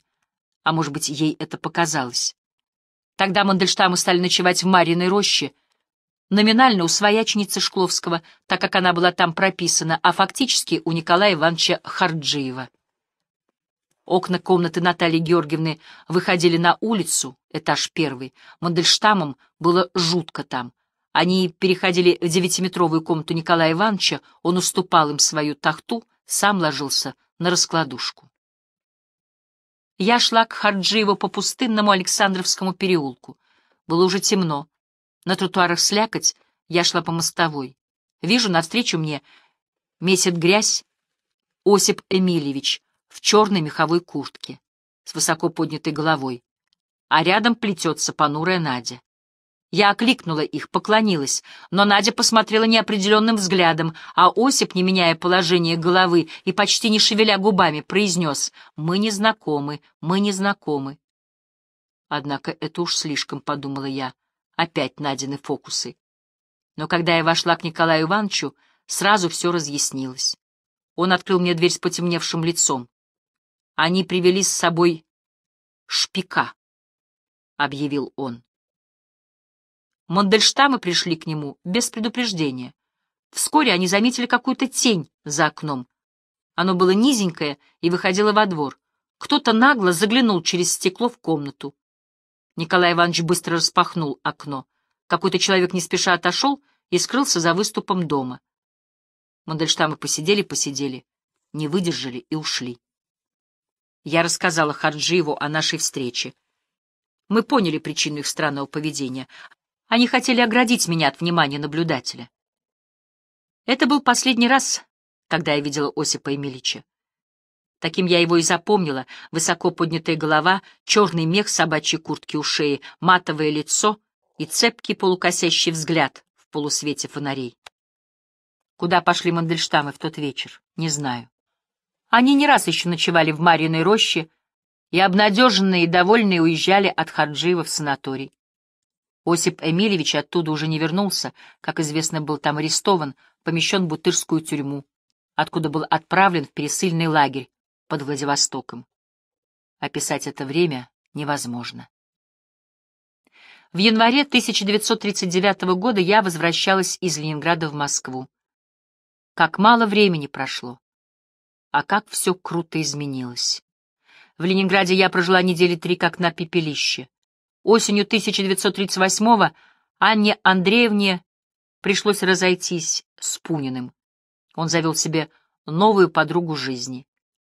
Лева был арестован, и его страшное дело еще тянулось. Анна Андреевна переехала в другую комнату пунинской квартиры.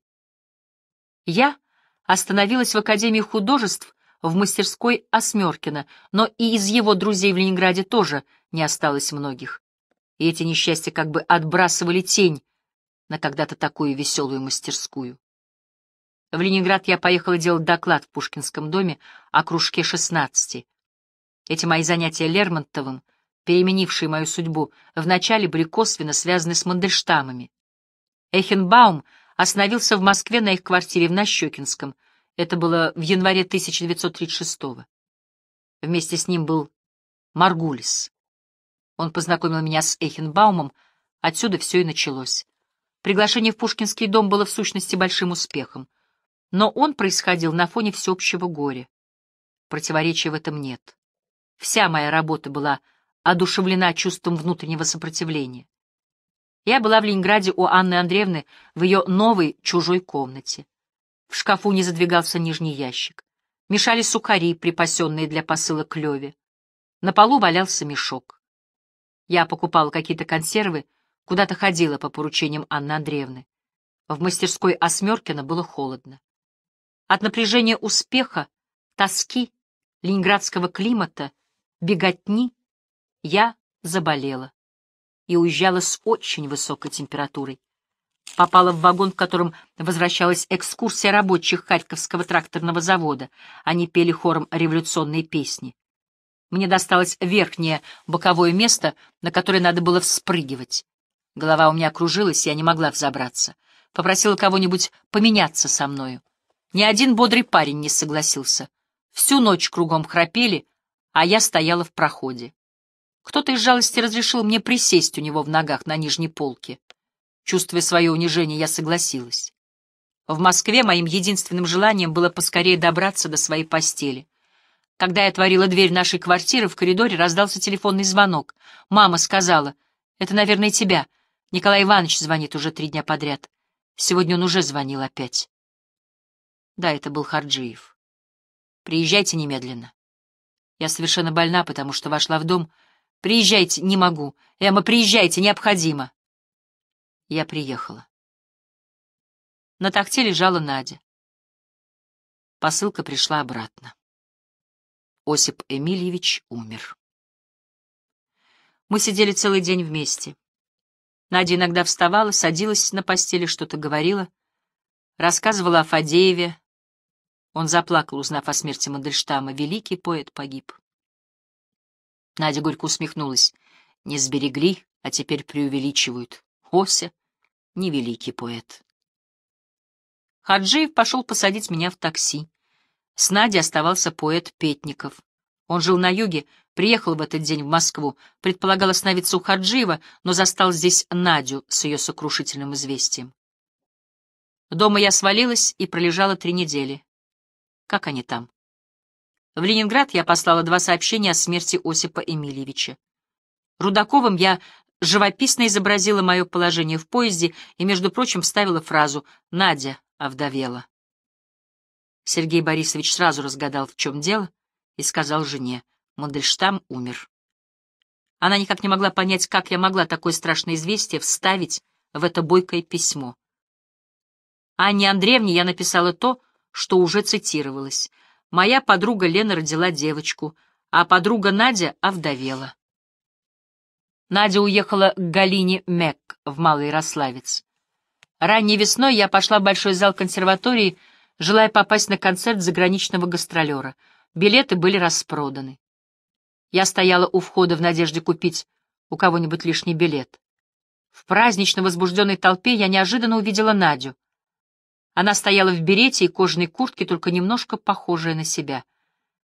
Нельзя было сказать, что она похудела. Нет, она как будто высохла и в таком виде окаменела. Кожа обтягивала ее лицо. Она говорила односложными неправильными фразами. Ее не интересовал заграничный виртуоз. Она хотела послушать музыку, которую любил Ося. На афише значились его любимые вещи. Я ушла домой, чтобы не конкурировать с Надей в погоне за билетом. Я почувствовала, что если она останется одна, люди не пройдут мимо нее. Сухой блеск ее глаз был нестерпим.